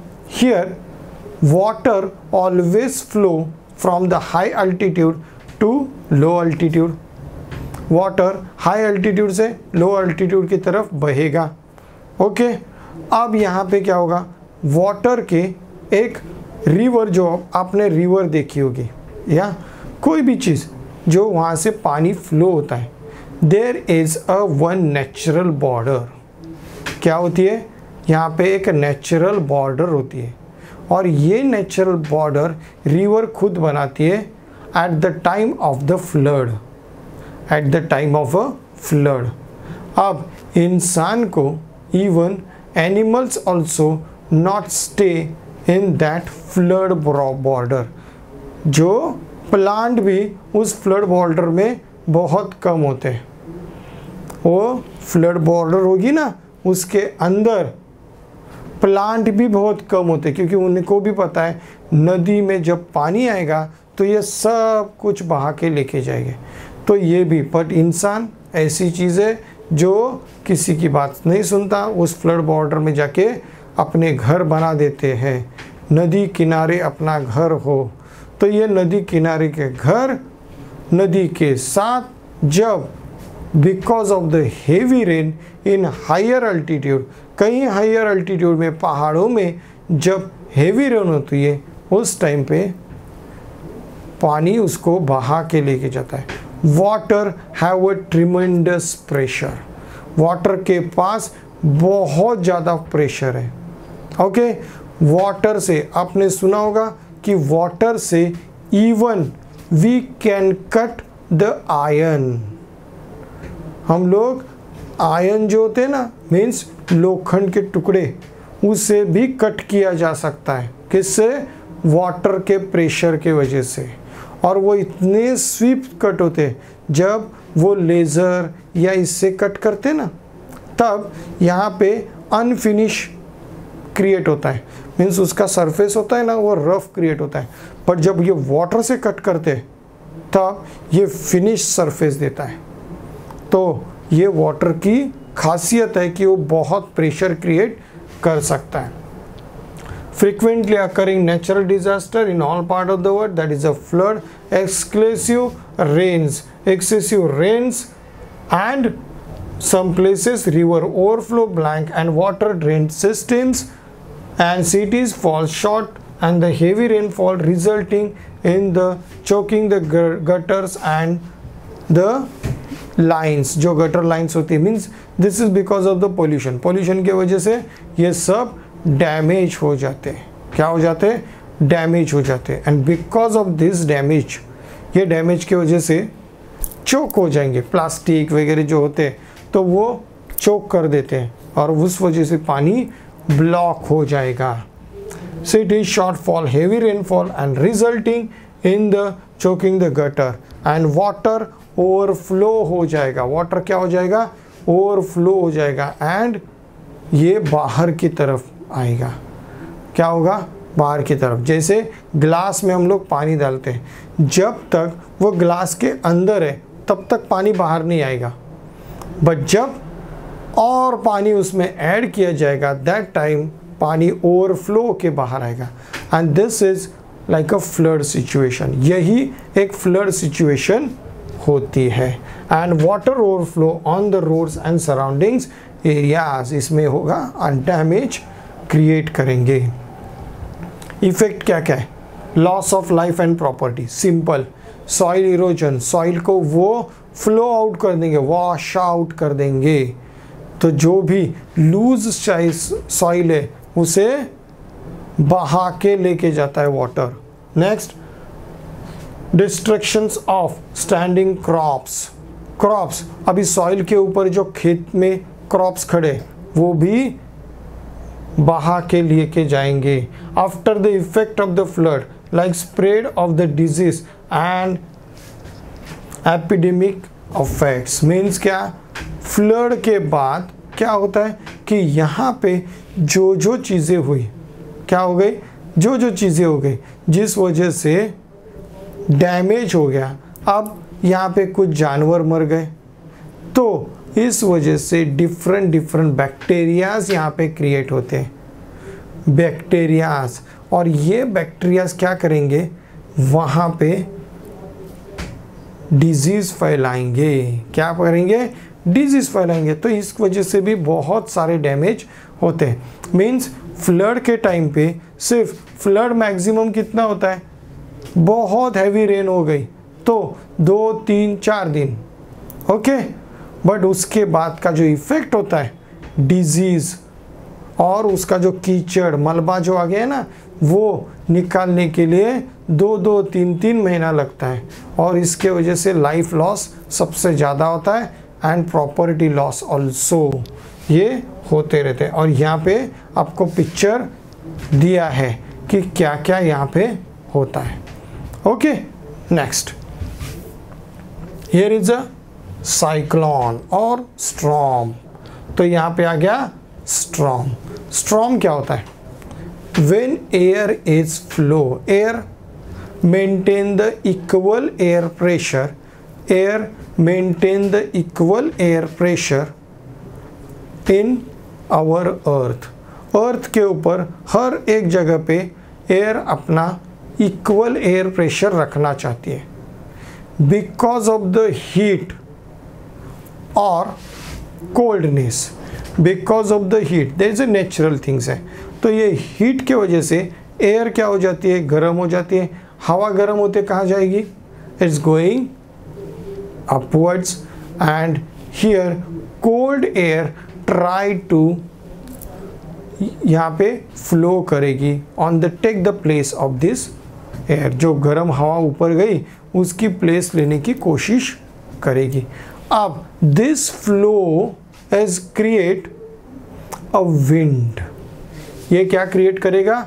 विंड जब ये विंड बहुत स्पीड में बहते हैं it's create a low pressure belt and high pressure belt high pressure से लो प्रेशर की तरफ़ विंड का फ्लो स्टार्ट होगा and it's create a storm अब ये स्ट्रॉम डिफरेंट डिफरेंट प्रकार के होते हैं। आपने सुना होगा tornado valley tornado valley US में है है ना? आपने सुना होगी।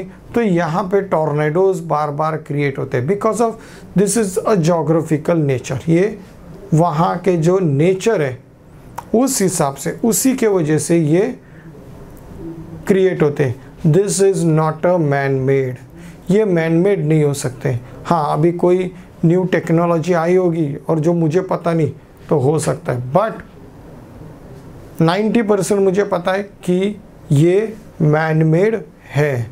दिस इज़ मैन मेड तो स्ट्रॉम्स ये मैन मेड होते हैं। Pressure belt in the atmosphere causes the changes of the weather resulting the storm and the winds ये heavy storms and winds create हो जाएँगे। इफ़ेक्ट क्या होगा?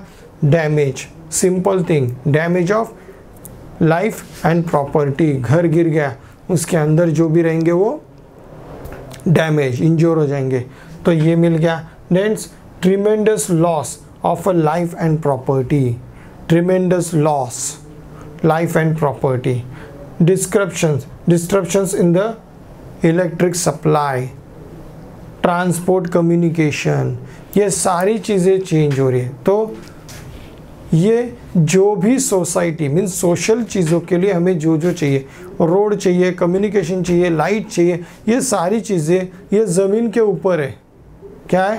पोल्स होते हैं ना पोल्स जितने ज़मीन के ऊपर रहेंगे, वो विंड उसको भी गिरा देगी। एंड बिकॉज़ ऑफ़ दैट ये डिस्टर्बेंस क्रिएट होते हैं। एट्स क्रिएट द डिस्टर्बेंस तो आपने देखा होगा कि बहुत बार बारिश आती है। बहुत बारिश होने लगती है और बारिश और विंड का फ्लो होता है तो लाइट चली जाती है। कभी कभी नेटवर्क का इश्यूज़ होते हैं। ओके अभी मोबाइल से इंटरनेट परफेक्टली काम नहीं करता। तो ये this is because of the damage of property ये डैमेज ऑफ़ द प्रॉपर्टी ये पोल्स की वगैरह जो प्रॉपर्टी होती है, वो डैमेज हो गई। एंड बिकॉज़ ऑफ़ ये डिस्टर्बेंस क्रिएट होते हैं। Now forest fire forest fire are two types एक तो मैन मेड होगा, दूसरा होगा, क्या? नेचुरल नेचुरल फॉरेस्ट फायर ये कैसे होगा? कि because of the heat heat या कोई चीज़ों की वजह से यहाँ पे पत्ते क्रिएट हो गए मीन्स ग्रास वगैरह होती है, सूख जाते हैं। जो हीट के वजह से एंड द विंड के वजह से द ब्रांचेस स्टार्ट फ्रिक्शन ये branch start the create the frictions and this frictions create the energy इन्होंने एक एनर्जी क्रिएट कर दी that is heat and this heat ये जब हीट बहुत ज़्यादा फ्रिक्शन करती है विंड के फ्लो के इसमें बहुत ज़्यादा फ्रिक्शन होता है, और ये नेचुरली आग पकड़ लेते हैं। तो यहाँ पे फायर हो गई। मैन मेड क्या होता है? कि बहुत बार जो जंगल होते हैं ना कल्टीवेशन के लिए हाउस बनाने के लिए, घर बनाने के लिए, उसे जला दिया जाता है। क्या किया जाता है? अगर उसे तोड़ने को जाएँगे तो देर आर यहाँ पे इतने कानून है कि एक पेड़ को हम लोग कट करते हैं। तो अप्रॉक्सीमेट टेन ईयर्स तक इम्प्रिजमेंट है। कितनी? टेन ईयर्स तक इम्प्रिजमेंट का रूल है। दस साल तक जेल। अब आग लगा के निकल जाओ। जंगल खुद जलते रहेगा। तो ये सारी मैन मेड है। ये क्या होता है? मैन मेड होता है। कुछ एक्सीडेंट्स के वजह से होते मीन्स ये लोग जो स्मोकिंग वगैरह करते या जंगल में घूमने जाएँगे और रात में बॉन फायर लगाते गा ये गाना गाएँगे, उसके बाजू में सब घूमेंगे, नाचेंगे, रात भर एंजॉय करेंगे। अब सुबह उस फायर को बुझा नहीं रहे, उसमें पानी नहीं डाल रहे, क्योंकि वो ऑलरेडी ये हो चुकी है। But still there are some energy यहाँ पे कुछ एनर्जी होती है। जो बर्निंग ऐश होती है, ये जो बर्निंग ऐश होती है, वो उड़ के किसी और जगह पे चली जाती है। विंड के फ्लो के वजह से चली जाएगी। And this accident is create fire तो this is also man made means हम लोग ने क्या डिस्कस किया? फायर इज़ मैन मेड भी हो सकती है एंड द नेचुरल तो forest fire is uncontrol fire in the forest and pasture grassland and due to the natural and man-made forest fire spread the tremendous speed this speed कैसे होगा that is because of the wind wind के speed वजह से वो और जल्दी फैलेगी okay okay? तो ये हुआ इफ़ेक्ट क्या होगा damage damage of biodiversity biodiversity क्या होती है डिफरेंट डिफरेंट टाइप्स के पेड़, पौधे इवन एनिमल्स जो छोटे छोटे एनिमल्स होते इंसेक्ट्स होते, जो दूर तक नहीं जा सकते, वो उसमें मर जाते हैं। तो ये डैमेज हो गया। नेक्स्ट एयर पोल्यूशन ये सबसे बड़ा तो ये तो समझो फायर हो गई किसी और जगह पे।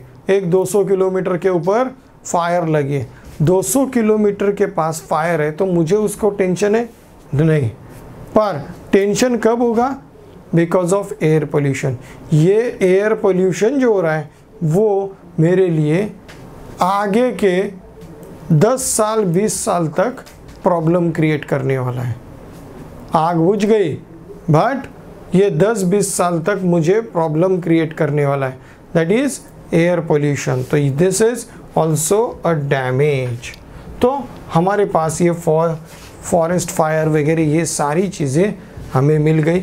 ना। डिज़ास्टर मैनेजमेंट अब ये जो सारे डिज़ास्टर्स होते हैं, हमें उसे मैनेज हम मैनेज तो नहीं कर पाएँगे बट उससे बचने का तरीका ढूंढ सकते हैं, या उसे कंट्रोल करने का तरीका देख सकते हैं। That is a management that is a management. तो क्या होता है? Community participation and disaster management are closely related community participation सभी लोग एक साथ आके काम कर सकते हैं।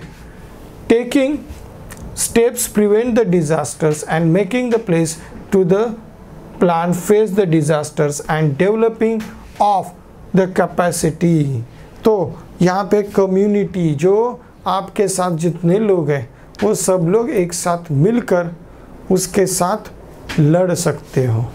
क्या कर सकते हो? लड़ सकते हो। एक दूसरे को हेल्प करो। ए, आज आप किसी की हेल्प करते हो तो कल कोई दूसरा आपकी हेल्प करेगा। क्योंकि आप जब किसी की हेल्प करते हो तो बहुत सारे लोग देखने वाले होते हैं। आज वो आपके साथ कुछ नहीं करेंगे। बट जब आप मुश्किल में हो तभी वो आपको हेल्प करने ज़रूर आएँगे। तो ये जब कम्युनिटी होती है मीन्स आपने देखा होगा फ्लड्स होते, ये होते हैं अर्थवेक होती तो police systems fire brigade systems ये सारे अपनी जान को जोखिम में डालकर वहाँ पे आ जाते। क्यों? उनको खतरा नहीं लगता? लगता है। But it is our duty it is our humanity होती है ये, कि जो हम लोग इसे कंट्रोल कर सकते हैं। हम लोग इसे कंट्रोल कर सकते हैं। आपने देखा होगा कि रात में आप जब आराम से सोते हो, तब हर एक जगह पे पुलिस मौजूद रहती है। रात भर जाग रहे ये लोग। क्यों? आप लोग सेफ़ से सो जाओ। कम्युनिटी है? यस फ्लड आता है। तो एनडीआरएफ के टीम्स वाले इतने फ्लड में आपको खुद जाना मुश्किल लगता है बट ये खुद उसमें कूद कर आपकी जान बचाने की कोशिश करते ये क्या है? कम्युनिटी है।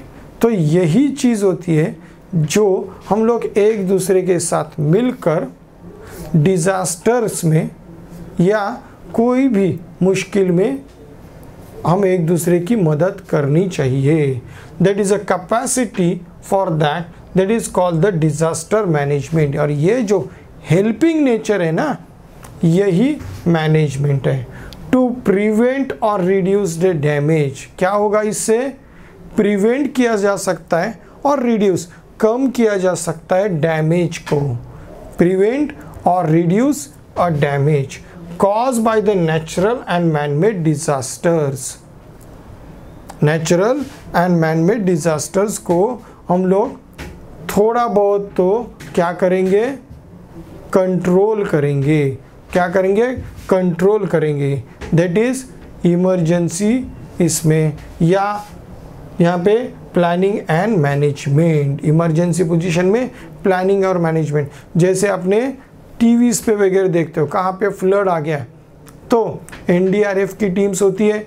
कुछ हमारे नेवी के या नेवी के, आर्मी के, हेलीकॉप्टर्स होते, वो वहाँ तक पहुँच जाते हैं। और लोगों को बाहर निकालने की कोशिश करते हैं। वहाँ से जितना भी मुश्किल होता है, वो खुद अपनी जान को खतरे में डालकर वो नीचे जाते हैं और खुद लोगों को सेव करते हैं। तो दिस इज़ अ ह्यूमैनिटी और यही चीज़ मीन्स पैसा तो सबको मिलेगा, सबको मिलने वाला है। या ये काम करो, वो काम करो। पर ये काम से एक सेटिस्फेक्शन मिलता है। जिस तरह से ये काम से सेटिस्फेक्शन मिलेगा यस मैंने कुछ तो अच्छी चीज़ क्रिएट कर दी। ओके चलो next institution works that is a disaster management authority establish की गई थी। 2005 में for implementing the disaster management और यहाँ पे कुछ phone numbers police fire brigade NDRF इनके कुछ disaster management toll free numbers यहाँ पे दिए हैं। During the disaster helping and supporting each other ये होना चाहिए। ये हमारी रिस्पॉन्सिबिलिटी होती है। Now here is a thing that is a remedial and preventive measures remedial and preventive measures remedial and preventive measures में हमारे पास बहुत ऐसी चीज़ें जो कम्युनिकेशन से जुड़ी हुई है। कम्युनिकेशन तो फ़र्स्ट एक ऐसी चीज़ है our meteorological department meteorological department जो ऐसी चीज़ है जो पूरे अर्थ के ऊपर even Indian meteorological department that is a I M D इसका जो हेड ऑफ़िस है ये पूना में और अदर ब्रांच ये आ, इसमें मनाली में। ओके अब ये स्टार्ट किया था अप्रॉक्सीमेट 1885 में। किसने? ब्रिटिशों ने। बिकॉज़ ऑफ़ यहाँ पे जो फ्रिक्वेंट ड्रॉट हो रहे हैं इंडिया में कुछ जगह पे ड्रॉट होते थे, कुछ जगह पे बाढ़ आ रही है। तो इसमें डैमेज होता है प्रॉपर्टी का डैमेज सबसे ज़्यादा होता है। और इसे कंट्रोल कैसे किया जाए, उसको स्टडी करने के लिए इन्होंने ये डिपार्टमेंट बनाया था। दैट इज़ मेट्रोलॉजिकल डिपार्टमेंट था। और फिर उन्होंने मुंबई, दिल्ली, मद्रास, ये सारे जगह पे, चेन्नई अभी का, वहाँ पे हेड ऑफ़िस भी उन्होंने बनाए। अब मेन हमारे यहाँ पे कहाँ पे? महाराष्ट्र में, पूना में ये continuous with the help of the satellites and the existing data they are ये कंटिन्यूस ध्यान रखते इकोलॉजिकल बैलेंस मीन्स हमारे यहाँ पे जो भी नेचुरल चेंजेस हो रहे उसके ऊपर ध्यान रखते। इवन पोल्यूशन पे भी यही ध्यान रखते। जो भी विंड स्पीड होता है, उसके ऊपर भी ध्यान रखते सी वेव्स सी में ओशन में क्या चेंजेस हो रहे वो भी ध्यान रखते ये सारी चीज़ों के ऊपर ध्यान रखा जाता है। Even they are also look after the earthquake और अर्थ के जो टेमर्स होते हैं, उसके ऊपर भी ध्यान देते हैं। तो एक सिंपल चीज़ बताता हूँ, जो हमें फील नहीं होती फील नहीं होती बर अर्थवेक ये कंटिन्यू होते रहते हैं। अर्थवेक कंटिन्यू होते रहते हैं। बट हमें फील होता है आफ्टर द 3.5 टू 4 के बाद। हमें फील होता है 3.5 अगर व्हीकल में हो तो हमें 5 के ऊपर का ही रिटर स्केल के पॉइंट्स हमें पता चलते उससे नीचे नहीं होते, पता। तो वो वन पॉइंट के भी पॉइंट्स होते रहते हैं। अगर रिटर स्केल देखा, देखोगे तो यहाँ पे कंटिन्यू ये मूवमेंट होते रहता है। इट्स अ मूवमेंट और ये जो मूवमेंट होता है ना that is a continuous vibration below the earth earth के नीचे कंटिन्यूस वाइब्रेशंस हो रहे हैं। तो ये चीज़ वो बताते हैं। तो दिस इज़ मेट्रोलॉजिकल डिपार्टमेंट ये डिपार्टमेंट आपको इंटरनेट साइट्स उनकी जो साइट्स होती है, टीवी, मीडिया, जो सोशल मीडियाज होते रेडियो, इससे लोगों तक कांटेक्ट करते इंफॉर्मेशंस देते and if there is a big disaster कुछ बिग डिजास्टर होने वाला है तो उससे पहले सारे कम्युनिकेशन गवर्नमेंट को उसे अलर्ट किया जाता है, और गवर्नमेंट रेडी हो जाता है for the disaster, to fight with this disaster. When they get the, already they know the where is disasters happen कहाँ पे होने वाला है, वो पता चल गया। तो वहाँ तक पहुँच जाते एंड सेव द लाइफ ये पीपल्स की लाइफ सेव करते हैं। जैसे मैंने आपको ऑलरेडी एक बताया था कि इटली में ये हुआ। वोल्केनिक इरप्शन स्टार्ट हुआ। जैसे वोल्केनिक इरप्शन स्टार्ट हुआ, पहले टेमर होगा वाइब्रेशन हुआ, और ये वाइब्रेशन उनके जो डिपार्टमेंट है, उन्होंने उसको रीड किया। तभी उनको पता चला कि यहाँ पे इरप्शन स्टार्ट हो सकता है, जो उनका एग्जिस्टिंग डेटा है उससे। उनको प्रडिक्शन किया जाता है। ये दिस इज़ ओनली प्रडिक्शन हमें कुछ भी फिक्स पता नहीं होता। प्रडिक्शंस क्या होते हैं? We are collect the existing data and then predict what will happen ये हम लोग देखते हैं कि मैंने ऐसे क्वेश्चन के आंसर लिखे। तो लास्ट टाइम पे मुझे कितने मार्क मिले थे? तीन मार्क मिले ये क्वेश्चन के लिए। अभी कितने मिल सकते हाँ? तो मैंने इससे थोड़ा कम लिखा तो दो मार्क्स मिलेंगे। तो इस तरह से आपका ये प्रेडिक्शन हुआ। मे भी चार मार्क मिल जाए, पूरे के पूरे मिल जाए। हो सकता है, या दो मार्क या एक मार्क भी मिल जाए। तो ये प्रेडिक्शंस होते हैं। तो इसी तरह से प्रेडिक्शंस मेट्रोलॉजिकल डिपार्टमेंट करता है और ये predictions on the base on the datas and this data ये कंटिन्यूस उनके पास होता है। एंड इटली में इटली में जो हुआ, वो क्या हुआ इटली में? यहाँ पे जैसे पता चल गया they start the shifting peoples from that area approximate three lakh peoples को उन्होंने शिफ्ट किया है। कितने? थ्री लाख पीपल्स को उन्होंने उस एरिया से शिफ्ट कर दिया दूसरे एरिया में।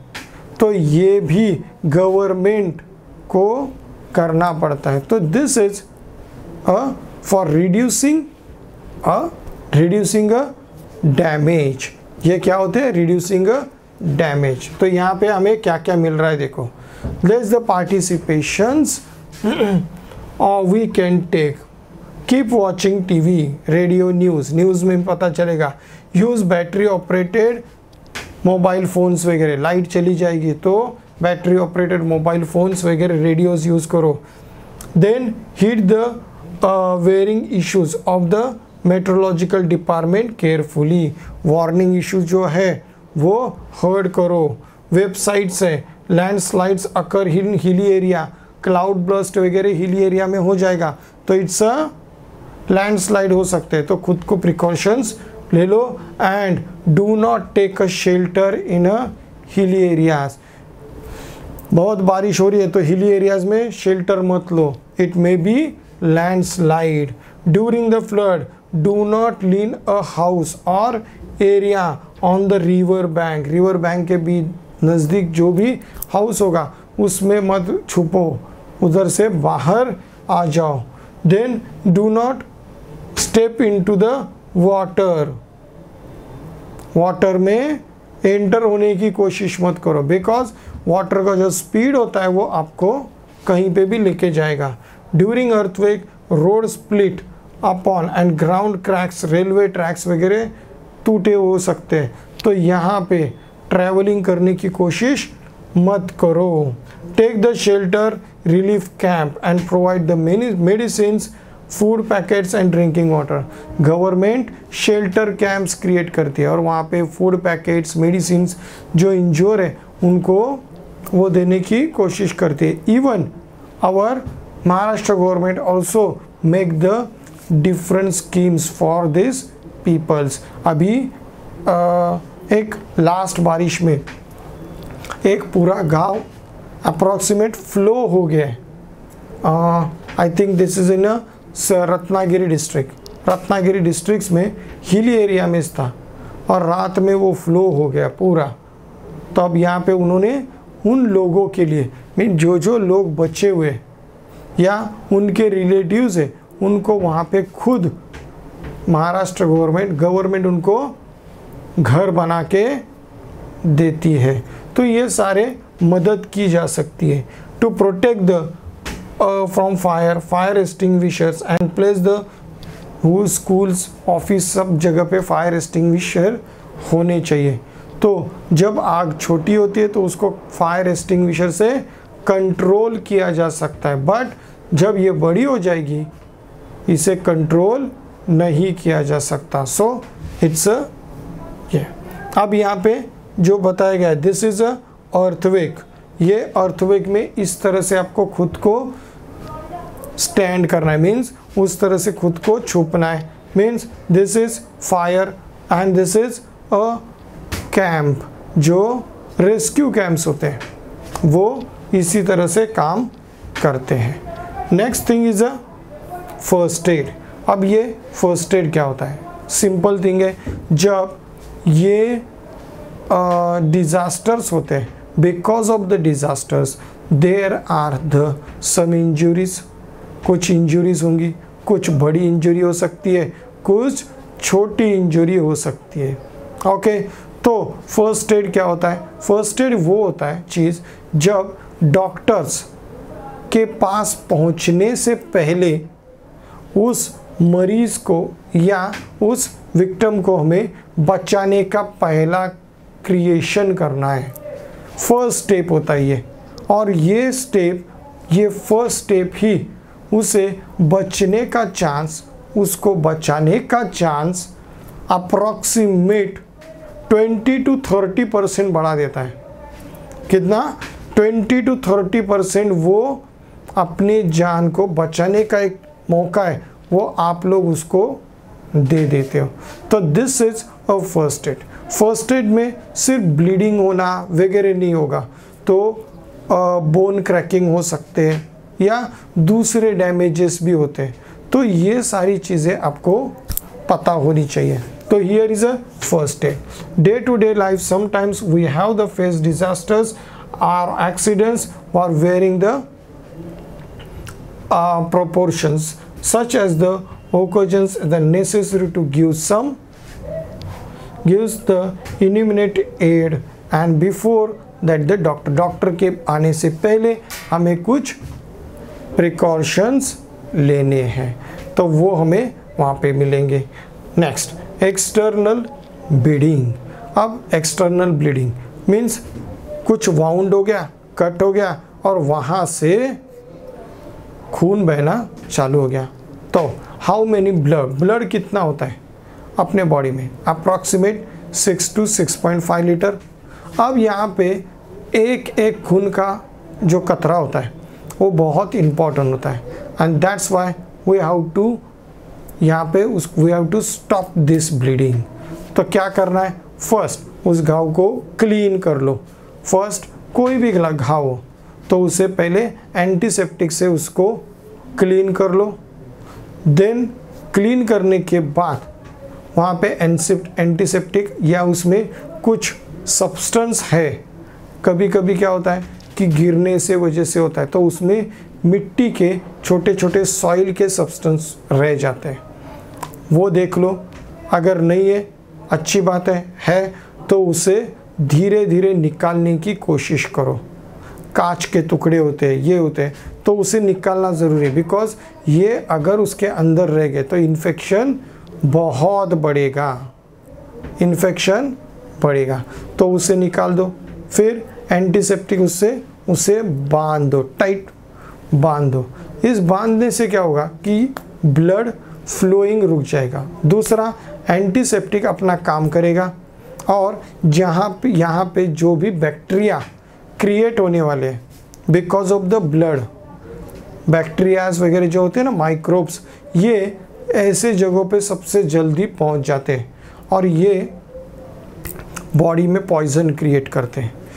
इसे बांधने से और एंटीसेप्टिक लोशन की वजह से you can help that person तो आपकी जो थर्टी टू 20 टू 30 30 क्या 40 परसेंट की जो लाइफ चांस है सेफ़ होने का चांस यहाँ पे बढ़ जाता है। Keep bleeding part and the body above the level and heart and the clean the water तो दूसरा क्या है यहाँ पे दिया है?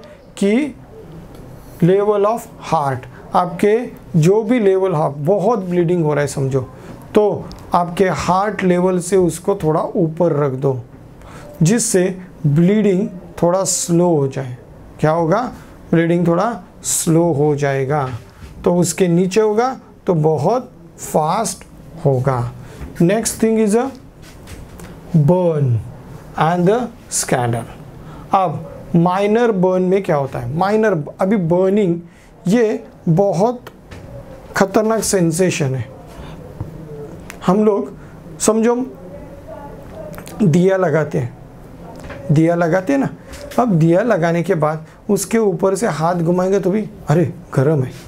तो ये सेंसेशन इतना होगा, पर जब एक्चुअल बर्न होता है तो वो सेंसेशन कितना बड़ा होगा? तो ये सेंसेशन बहुत खतरनाक होता है। ओके अब जो माइनर बर्निंग होता है, जैसे कुछ सब्सटेंस खाना बनाते हो, कुछ सब्सटेंस उड़ गए। ओके उड़ते तो लग गया। तो ये बर्न माइनर होता है तो उसमें आपको पानी के फ़र्स्ट कोई भी चीज़ में उसे पानी के पास लेके जाओ। मीन्स ठंडा कर दो। जब बर्न होता है एक्चुअली क्या होता है? वी ये बर्निंग के वजह से उस सेल्स में आपके बॉडी का टेम्परेचर बढ़ जाता है। उस पार्ट का टेम्परेचर बढ़ गया। ओके अब ये टेम्परेचर बढ़ा ही रहेगा तो it's will damage the cells ये जो आपका सेल स्ट्रक्चर है, उसे डैमेज कर देते हैं। Now you have to cut this temperature उसको टेम्परेचर को कम कर दो यूजिंग द वाटर वाटर को यूज़ करो then you can use the lotions ये होने चाहिए वाटर बेस ये वाटर बेस लोशंस होते हैं उसको यूज़ करो and it will be fine कभी कभी इस छोटे छोटे इसके वजह से यहाँ पे कुछ आ, ये होते क्रिएट होते हैं. मीन्स क्या होते हैं उसको सिस्ट कैसे तरह से वो क्रिएट हो जाता है। तो उसको फोड़ो मत, कुछ भी मत करो। वहाँ पे कुछ भी आपको हाथ नहीं लगाना है। क्यों? बिकॉज़ आपके हाथ लगाने से या कोई भी दूसरी इंस्ट्रूमेंट्स को यूज़ करने से वहाँ पे इन्फेक्शन का चांस सबसे ज़्यादा होता है। बिकॉज़ सेल्स यहाँ पे डैमेज हो चुके हैं। आपके बॉडी के सेल्स डैमेज हुए और ये डैमेज इन्फेक्शंस फैला सकता है। सो so, सिर्फ़ एंटीसेप्टिक और जो जो वाटर बेस एंटीसेप्टिक्स होते हैं या वाटर बेस ये बर्निंग क्रीम होती है एंटी बर्निंग क्रीम होती है वो लगा दो जो हमें कूल इफ़ेक्ट देते हैं। Injury wash the water leave the victim water drinks and clean the wound and the cotton swab soak in the antiseptic solution. Do not apply ointment and the cover the wound using the dry dressing. उसके rubbing नहीं करना है। कुछ भी rubbing नहीं करना है। तो ये खुद बॉडी खुद को इजीली परफेक्ट कर देती है। Now here is a serious burn तो पहला चाहिए हमें इमोशनल सपोर्ट बहुत सीरियस बर्न है। तो इमोशनल सपोर्ट हाँ बच्चा, कुछ नहीं होगा। डोंट टेक टेंशन अब भी दो मिनट में ठीक हो जाएगा। अब ये जो दो मिनट का आपने उसको टाइमिंग दिया ना, ये उसके ज़िंदगी का सबसे बड़ा टाइम होता है। क्योंकि in this case a as इसने सरेंडर कर दिया है भगवान को कि अब मैं मरने वाला हूँ। बट आपने उसको और दो मिनट दिया कि कुछ नहीं हो रहा अभी दो मिनट में काम हो जाएगा। अब ये जो सपोर्ट होता है ना, वो उसको जीने का एक एक मौका दे रही है। और यही चीज़ बॉडी पॉजिटिवली लेती थी। क्या लेती है? पॉजिटिवली लेती है। और फिर बॉडी में एक एनर्जी आती है। Next, cover the wound and sterile cloth same. जो शूज़ या ज्वेलरी वगैरह रहेगी, अगर उसे रिमूव कर सकते हो तो करो। क्यों? ज्वेलरीज वगैरह ये मेटल की चीज़ होती है। तो ये गर्म होने से और वो अंदर धसती जाएगी। जैसे वैक्स होता है ना, वैक्स। वैक्स में अगर गरम मेटल डाल दिया, क्या होगा? मेटल दूर अंदर तक चला जाता है। लाइक दिस ये हमारी बॉडी वैक्स की तरह काम करेगी उस टाइम पे तो उसे निकालना ज़रूर होगा। Do not touch the burst and distil of the skin जहाँ पे हुआ है, उसको हाथ मत लगाओ। Do not apply ointment ointment तो कभी भी यूज़ नहीं करने। इवन जो हम लोग नॉर्मल वाउंड्स होते हैं ना, उसमें भी जो एंटीसेप्टिक यूज़ करते हो तो उसमें प्रिफर करेंगे कि वाटर बेस जो आते हैं, वो यूज़ करो। ऑयल बेस ये मत यूज़ करना। ऑयल बेस कब यूज़ किया जाता है? जब हम वो चीज़ को बार बार हम लोग पानी के कांटेक्ट में आने वाले हैं। क्या होने वाले पानी के कॉन्टैक्ट्स में आने वाले हैं। उस टाइम पे हम लोग ऑयलमेंट यूज़ करते हैं। तो उससे पानी वो वाउंड में न चला जाए। यहाँ पे वो नहीं यूज़ करना है। हमें वाटर बेस जो होते ऑइनमेंट्स होते जो क्रीम्स होती है, वो यूज़ करनी है। Try to remove the cloth if is stuck to the burn skin पर धीरे धीरे ज़ोर से आप नहीं निकाल सकते। तो वो डॉक्टर ही वो काम कर सकते हैं। If the patient is a conscious give the water drink avoid the tea and coffee tea and coffee को अवॉइड करो। क्यों because tea and coffee body में एक स्टिमुलेशन क्रिएट करते एनर्जी क्रिएट कर देती है। और वो और डैमेज क्रिएट कर देंगे। मीन्स ब्लड सर्कुलेशन और फास्ट हो जाता है। क्या हो जाता है? ब्लड सर्कुलेशन फास्ट हो जाएगा। एंड बिकॉज़ ऑफ़ दिस ये ब्लड सर्कुलेशन फास्ट होने के कारण डैमेज बढ़ सकता है। गेट द मेडिकल एड तो मेडिकल एड ले लो और लोगों को बुला लो।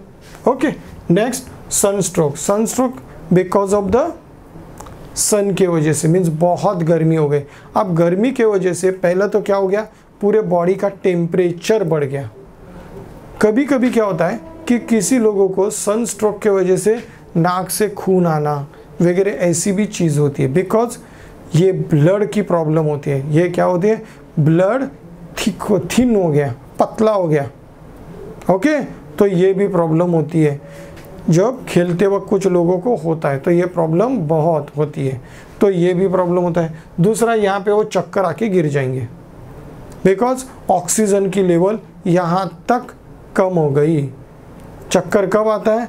जब ऑक्सीजन लेवल माइंड तक कम हो रही है तो ये घूमेगा और ये गिर जाएगा। तो बिकॉज़ ये सब कुछ, जो बैलेंस करना, चलना, बोलना, ये सब कुछ है ना, ये हेड ऑफ़ द डिपार्टमेंट है। ये अपना जो हेड है ना, ये एक मेन डिपार्टमेंट है। वही कंट्रोल कर रहा है। अब यहाँ पे ऑक्सीजन लेवल कम हो गई तो ये प्रॉब्लम्स क्रिएट होते हैं। तो इसे क्या दे दो? तो पेशेंट को कूल प्लेस में लेके जाओ। बॉडी को स्पंज से वाटर स्पंज से उसको कूल करने की कोशिश करो, ठंडा करो उसे। Then place the cloth soak water उसके नेक के ऊपर, यहाँ पे गले के ऊपर, वहाँ पे रख दो, जिससे टेम्परेचर डाउन हो जाए। मेन टेम्परेचर यहीं पे डाउन करना है। कहाँ पे? सर में।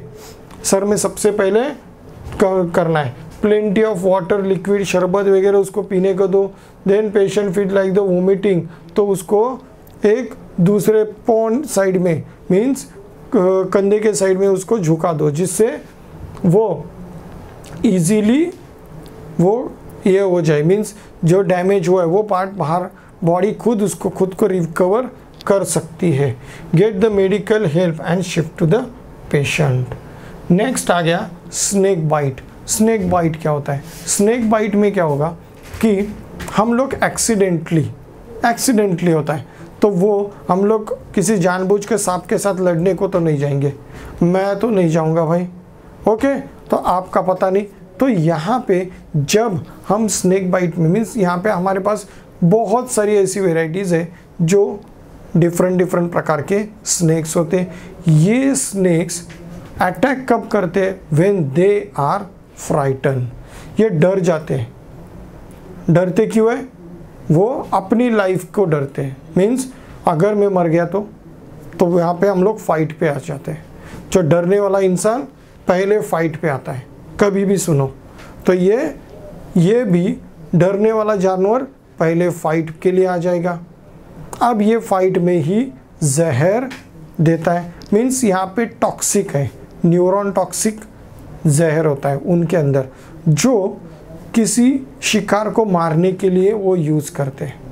जो छोटे छोटे शिकार होते हैं, वो तुरंत मर जाते हैं। और ये कैन, ये इजीली उसको निगल सकते हैं। बराबर। बट यहाँ पे हम लोग थोड़े बड़े इंसान हैं तो हमें थोड़ा टाइम मिलता है। बट ये क्या करते हैं? ये न्यूरॉन्स और कुछ मसल्स को डैमेज करते हैं। ये जहर क्या हो जाता है? न्यूरॉन्स या मसल्स को डैमेज करते अब ये सांप तो डिफरेंट प्रकार के होते और उनका काटने का तरीका सेम है। वो काटेंगे, चले जाएँगे, हम क्या ढूंढते बैठेंगे? ये जहरीला था या नहीं? तो सिंपल थिंग है, जो जहरीला दा सांप होता है, उसके सामने के जो टक्स होते हैं मीन्स यहाँ पे जो उसके केनाइन जैसे होते हैं, वो बड़े होते हैं। ओके और वो एक क्रिएट करते मीन्स वो एक छापा क्रिएट करेंगे। ओके वो अप्रोक्सीमेट हाँ लाइक हियर आपको यहाँ पे दिखाए गए ये जो दो डॉट क्रिएट हो गए ना, ये।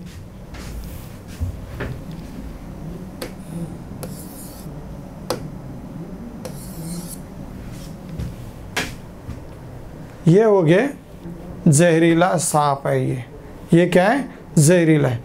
अगर ये जहरीला नहीं होगा तो यहाँ पे सिर्फ़ ऐसे ऐसे ऐसे ऐसे क्रिएट होगा। जहरीला नहीं होगा तो कुछ सिर्फ़ दांत के निशान होंगे तो ये जहरीला नहीं होगा। अब सबसे ज़्यादा ह्यूमन लॉस होता है, डर के वजह से। क्या होता है? सांप काट लिया। अब ये सांप कौन सा था? पता नहीं। जहरीला था या नहीं? पता नहीं। फिर भी डर के मारे बहुत सारे लोग मर जाते हैं। बिकॉज़ बिकॉज़ ऑफ़ द ये डर के वजह से ब्लड का प्रेशर बढ़ जाता है। ब्लड का प्रेशर बढ़ जाएगा। और ये ब्लड को प्रेशर को हार्ट अपना टैकल नहीं कर पाएगा। क्या होगा? उसे टैटल टैकल नहीं कर पाएगा। एंड ये डैमेज हो जाएगा और वो अटक जाएगा। ओके एच करेगा वो। और ये जो चेंज है, इस वजह से डेथ होती है और इसी वजह से डेथ ज़्यादा होती है। अब ये हो गया है, समझो। ओके तो सिंपल चीज़ है। पहला उसको क्या करना है हमें? वॉश करना है। चलो। तो snake bite. There are the 200 2000 species of snakes and this only few cobra, viper वगैरह, यही चीज़ होती है जो पॉइजनस है।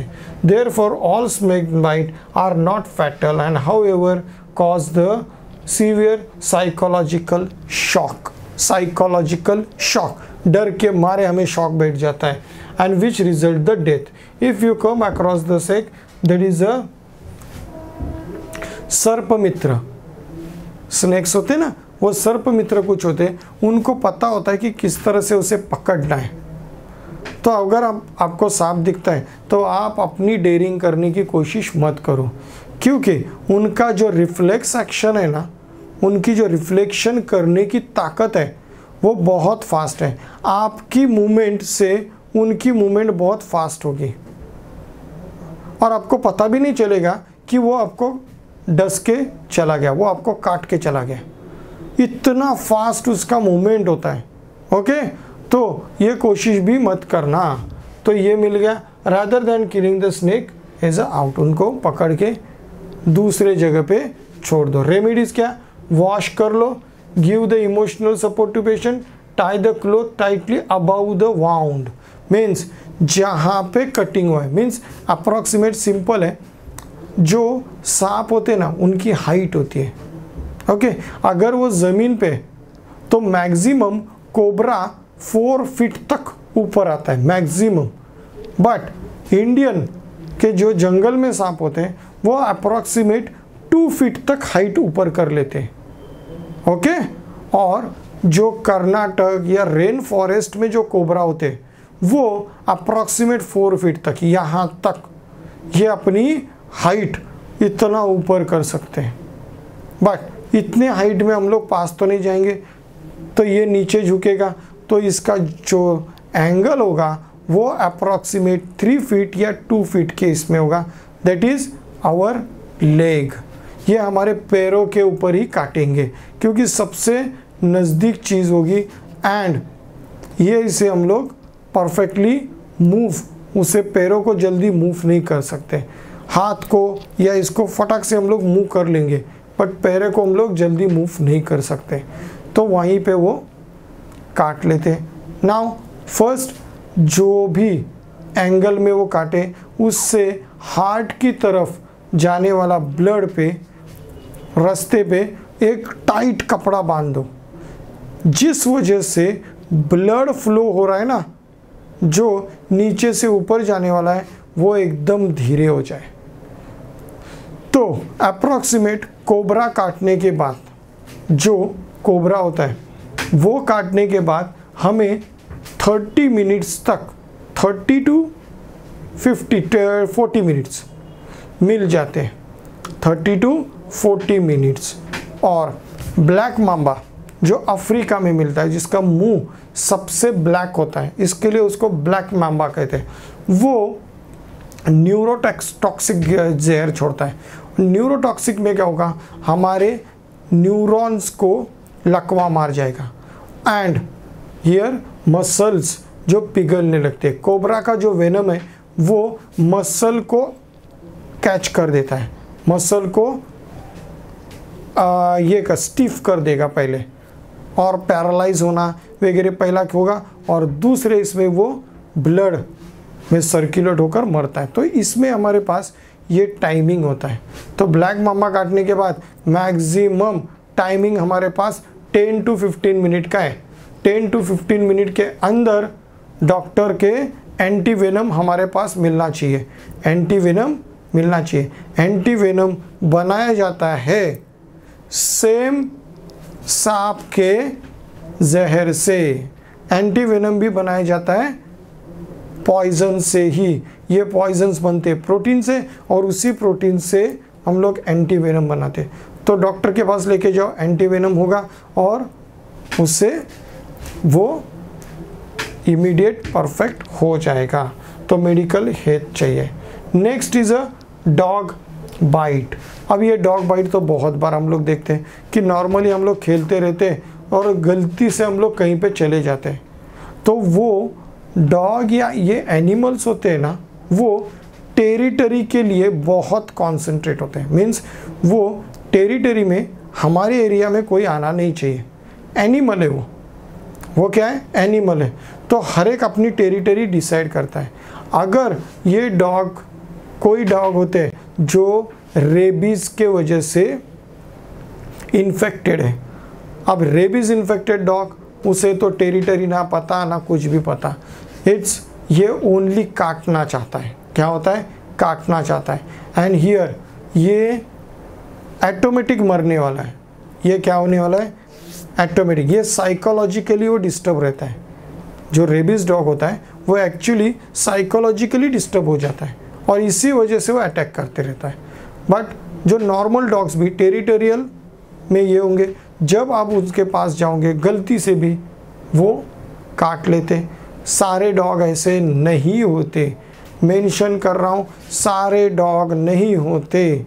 इट्स अ चांस होता है only one percent one percent से भी कम चांस है कि डॉग आपके ऊपर अटैक करे। डॉग्स आपके ऊपर अटैक करे, ये सिर्फ़ वन परसेंट चांस होता है। जब वो डरेगा वेन एनिमल आपसे डरते, तभी वो आपके ऊपर अटैक करेंगे। जब एनिमल को आप डराओगे, तभी वो अटैक करेगा।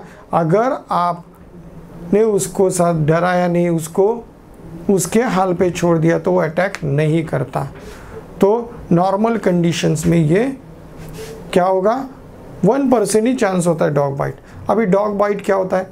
डॉग बाइट हर एक एनिमल्स के अंदर डॉग बाइट हो मंकी बाइट हो या कोई भी जानवर हो they having a saliva and there there are the different bacterias उनके मुँह में कुछ डिफरेंट बैक्टीरियाज होते हैं।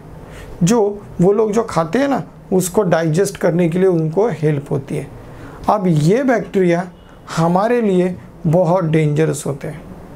तो जब वो काट लिया, अब उसको वाउंड को साफ़ कर लो डॉक्टर के पास जालो, जाओ, वो एंटीसेप्टिक करेंगे और उसके जो रेबीज़ के एंटी रेबीज़ इंजेक्शंस होते हैं। तो अगर वाउंड बड़ा हो अगर वाउंड बड़ा हो तो उस वाउंड में ही पहला इंजेक्शन दिया जाता है।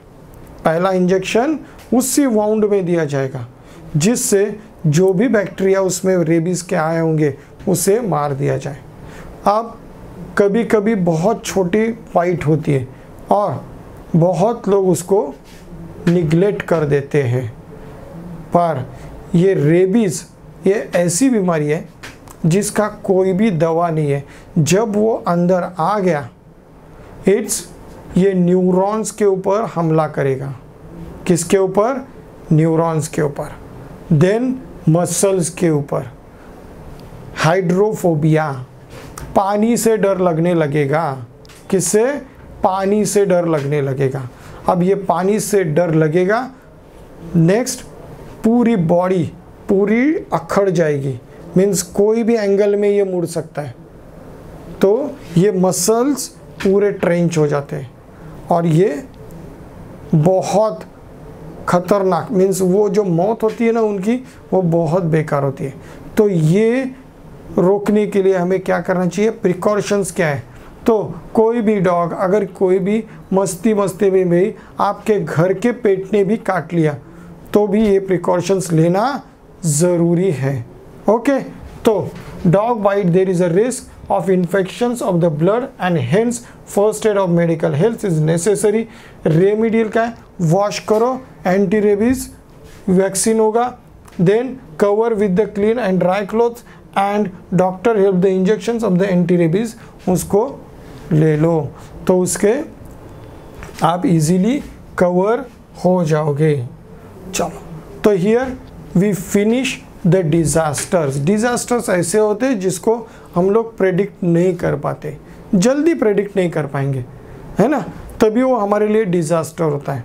अब कुछ डिज़ास्टर तो बहुत कम्युनिटी के लिए और जैसे यहाँ पे स्नेक बाइट डॉग बाइट होते तो वो किसी पर्टिकुलर इंसान के लिए वो डिज़ास्टर हो जाएगा, है ना? Next here is a some summary the sudden climate climate is a known calamities is known a disaster disaster can be man made और the natural there is alternates और the immediate action necessary for such the occasion effective disaster management should be use the remedial measures ये करनी चाहिए and every person should know about the safety and precautions क्यों हमें लेने चाहिए तो here we finish our chapter disaster management हम लोग ने यहाँ पे कवर कर लिया। मैंने कुछ आपको स्टोरीज बताई। बराबर, मैंने अपने एक्सपीरियंस शेयर किए। You can also share your experience on our comments comments में आप लोग उसको शेयर कर सकते हो मेरे साथ। लेसन को परफेक्टली परफेक्टली रीड करो। बहुत इजी लेसन है। एक नॉर्मल लेसन जो हम लोग कर सकते हैं, वही उसमें दिया है। अगर आप न्यूज़ वगैरह परफेक्टली देखते हो तो ये लेसन को इतना सीरियस लेने की भी ज़रूरत नहीं है। आप इजीली उसको सॉल्व कर लोगे। ओके तो now here we need to stop we will meet again next session with new story और new chapter till then Good day.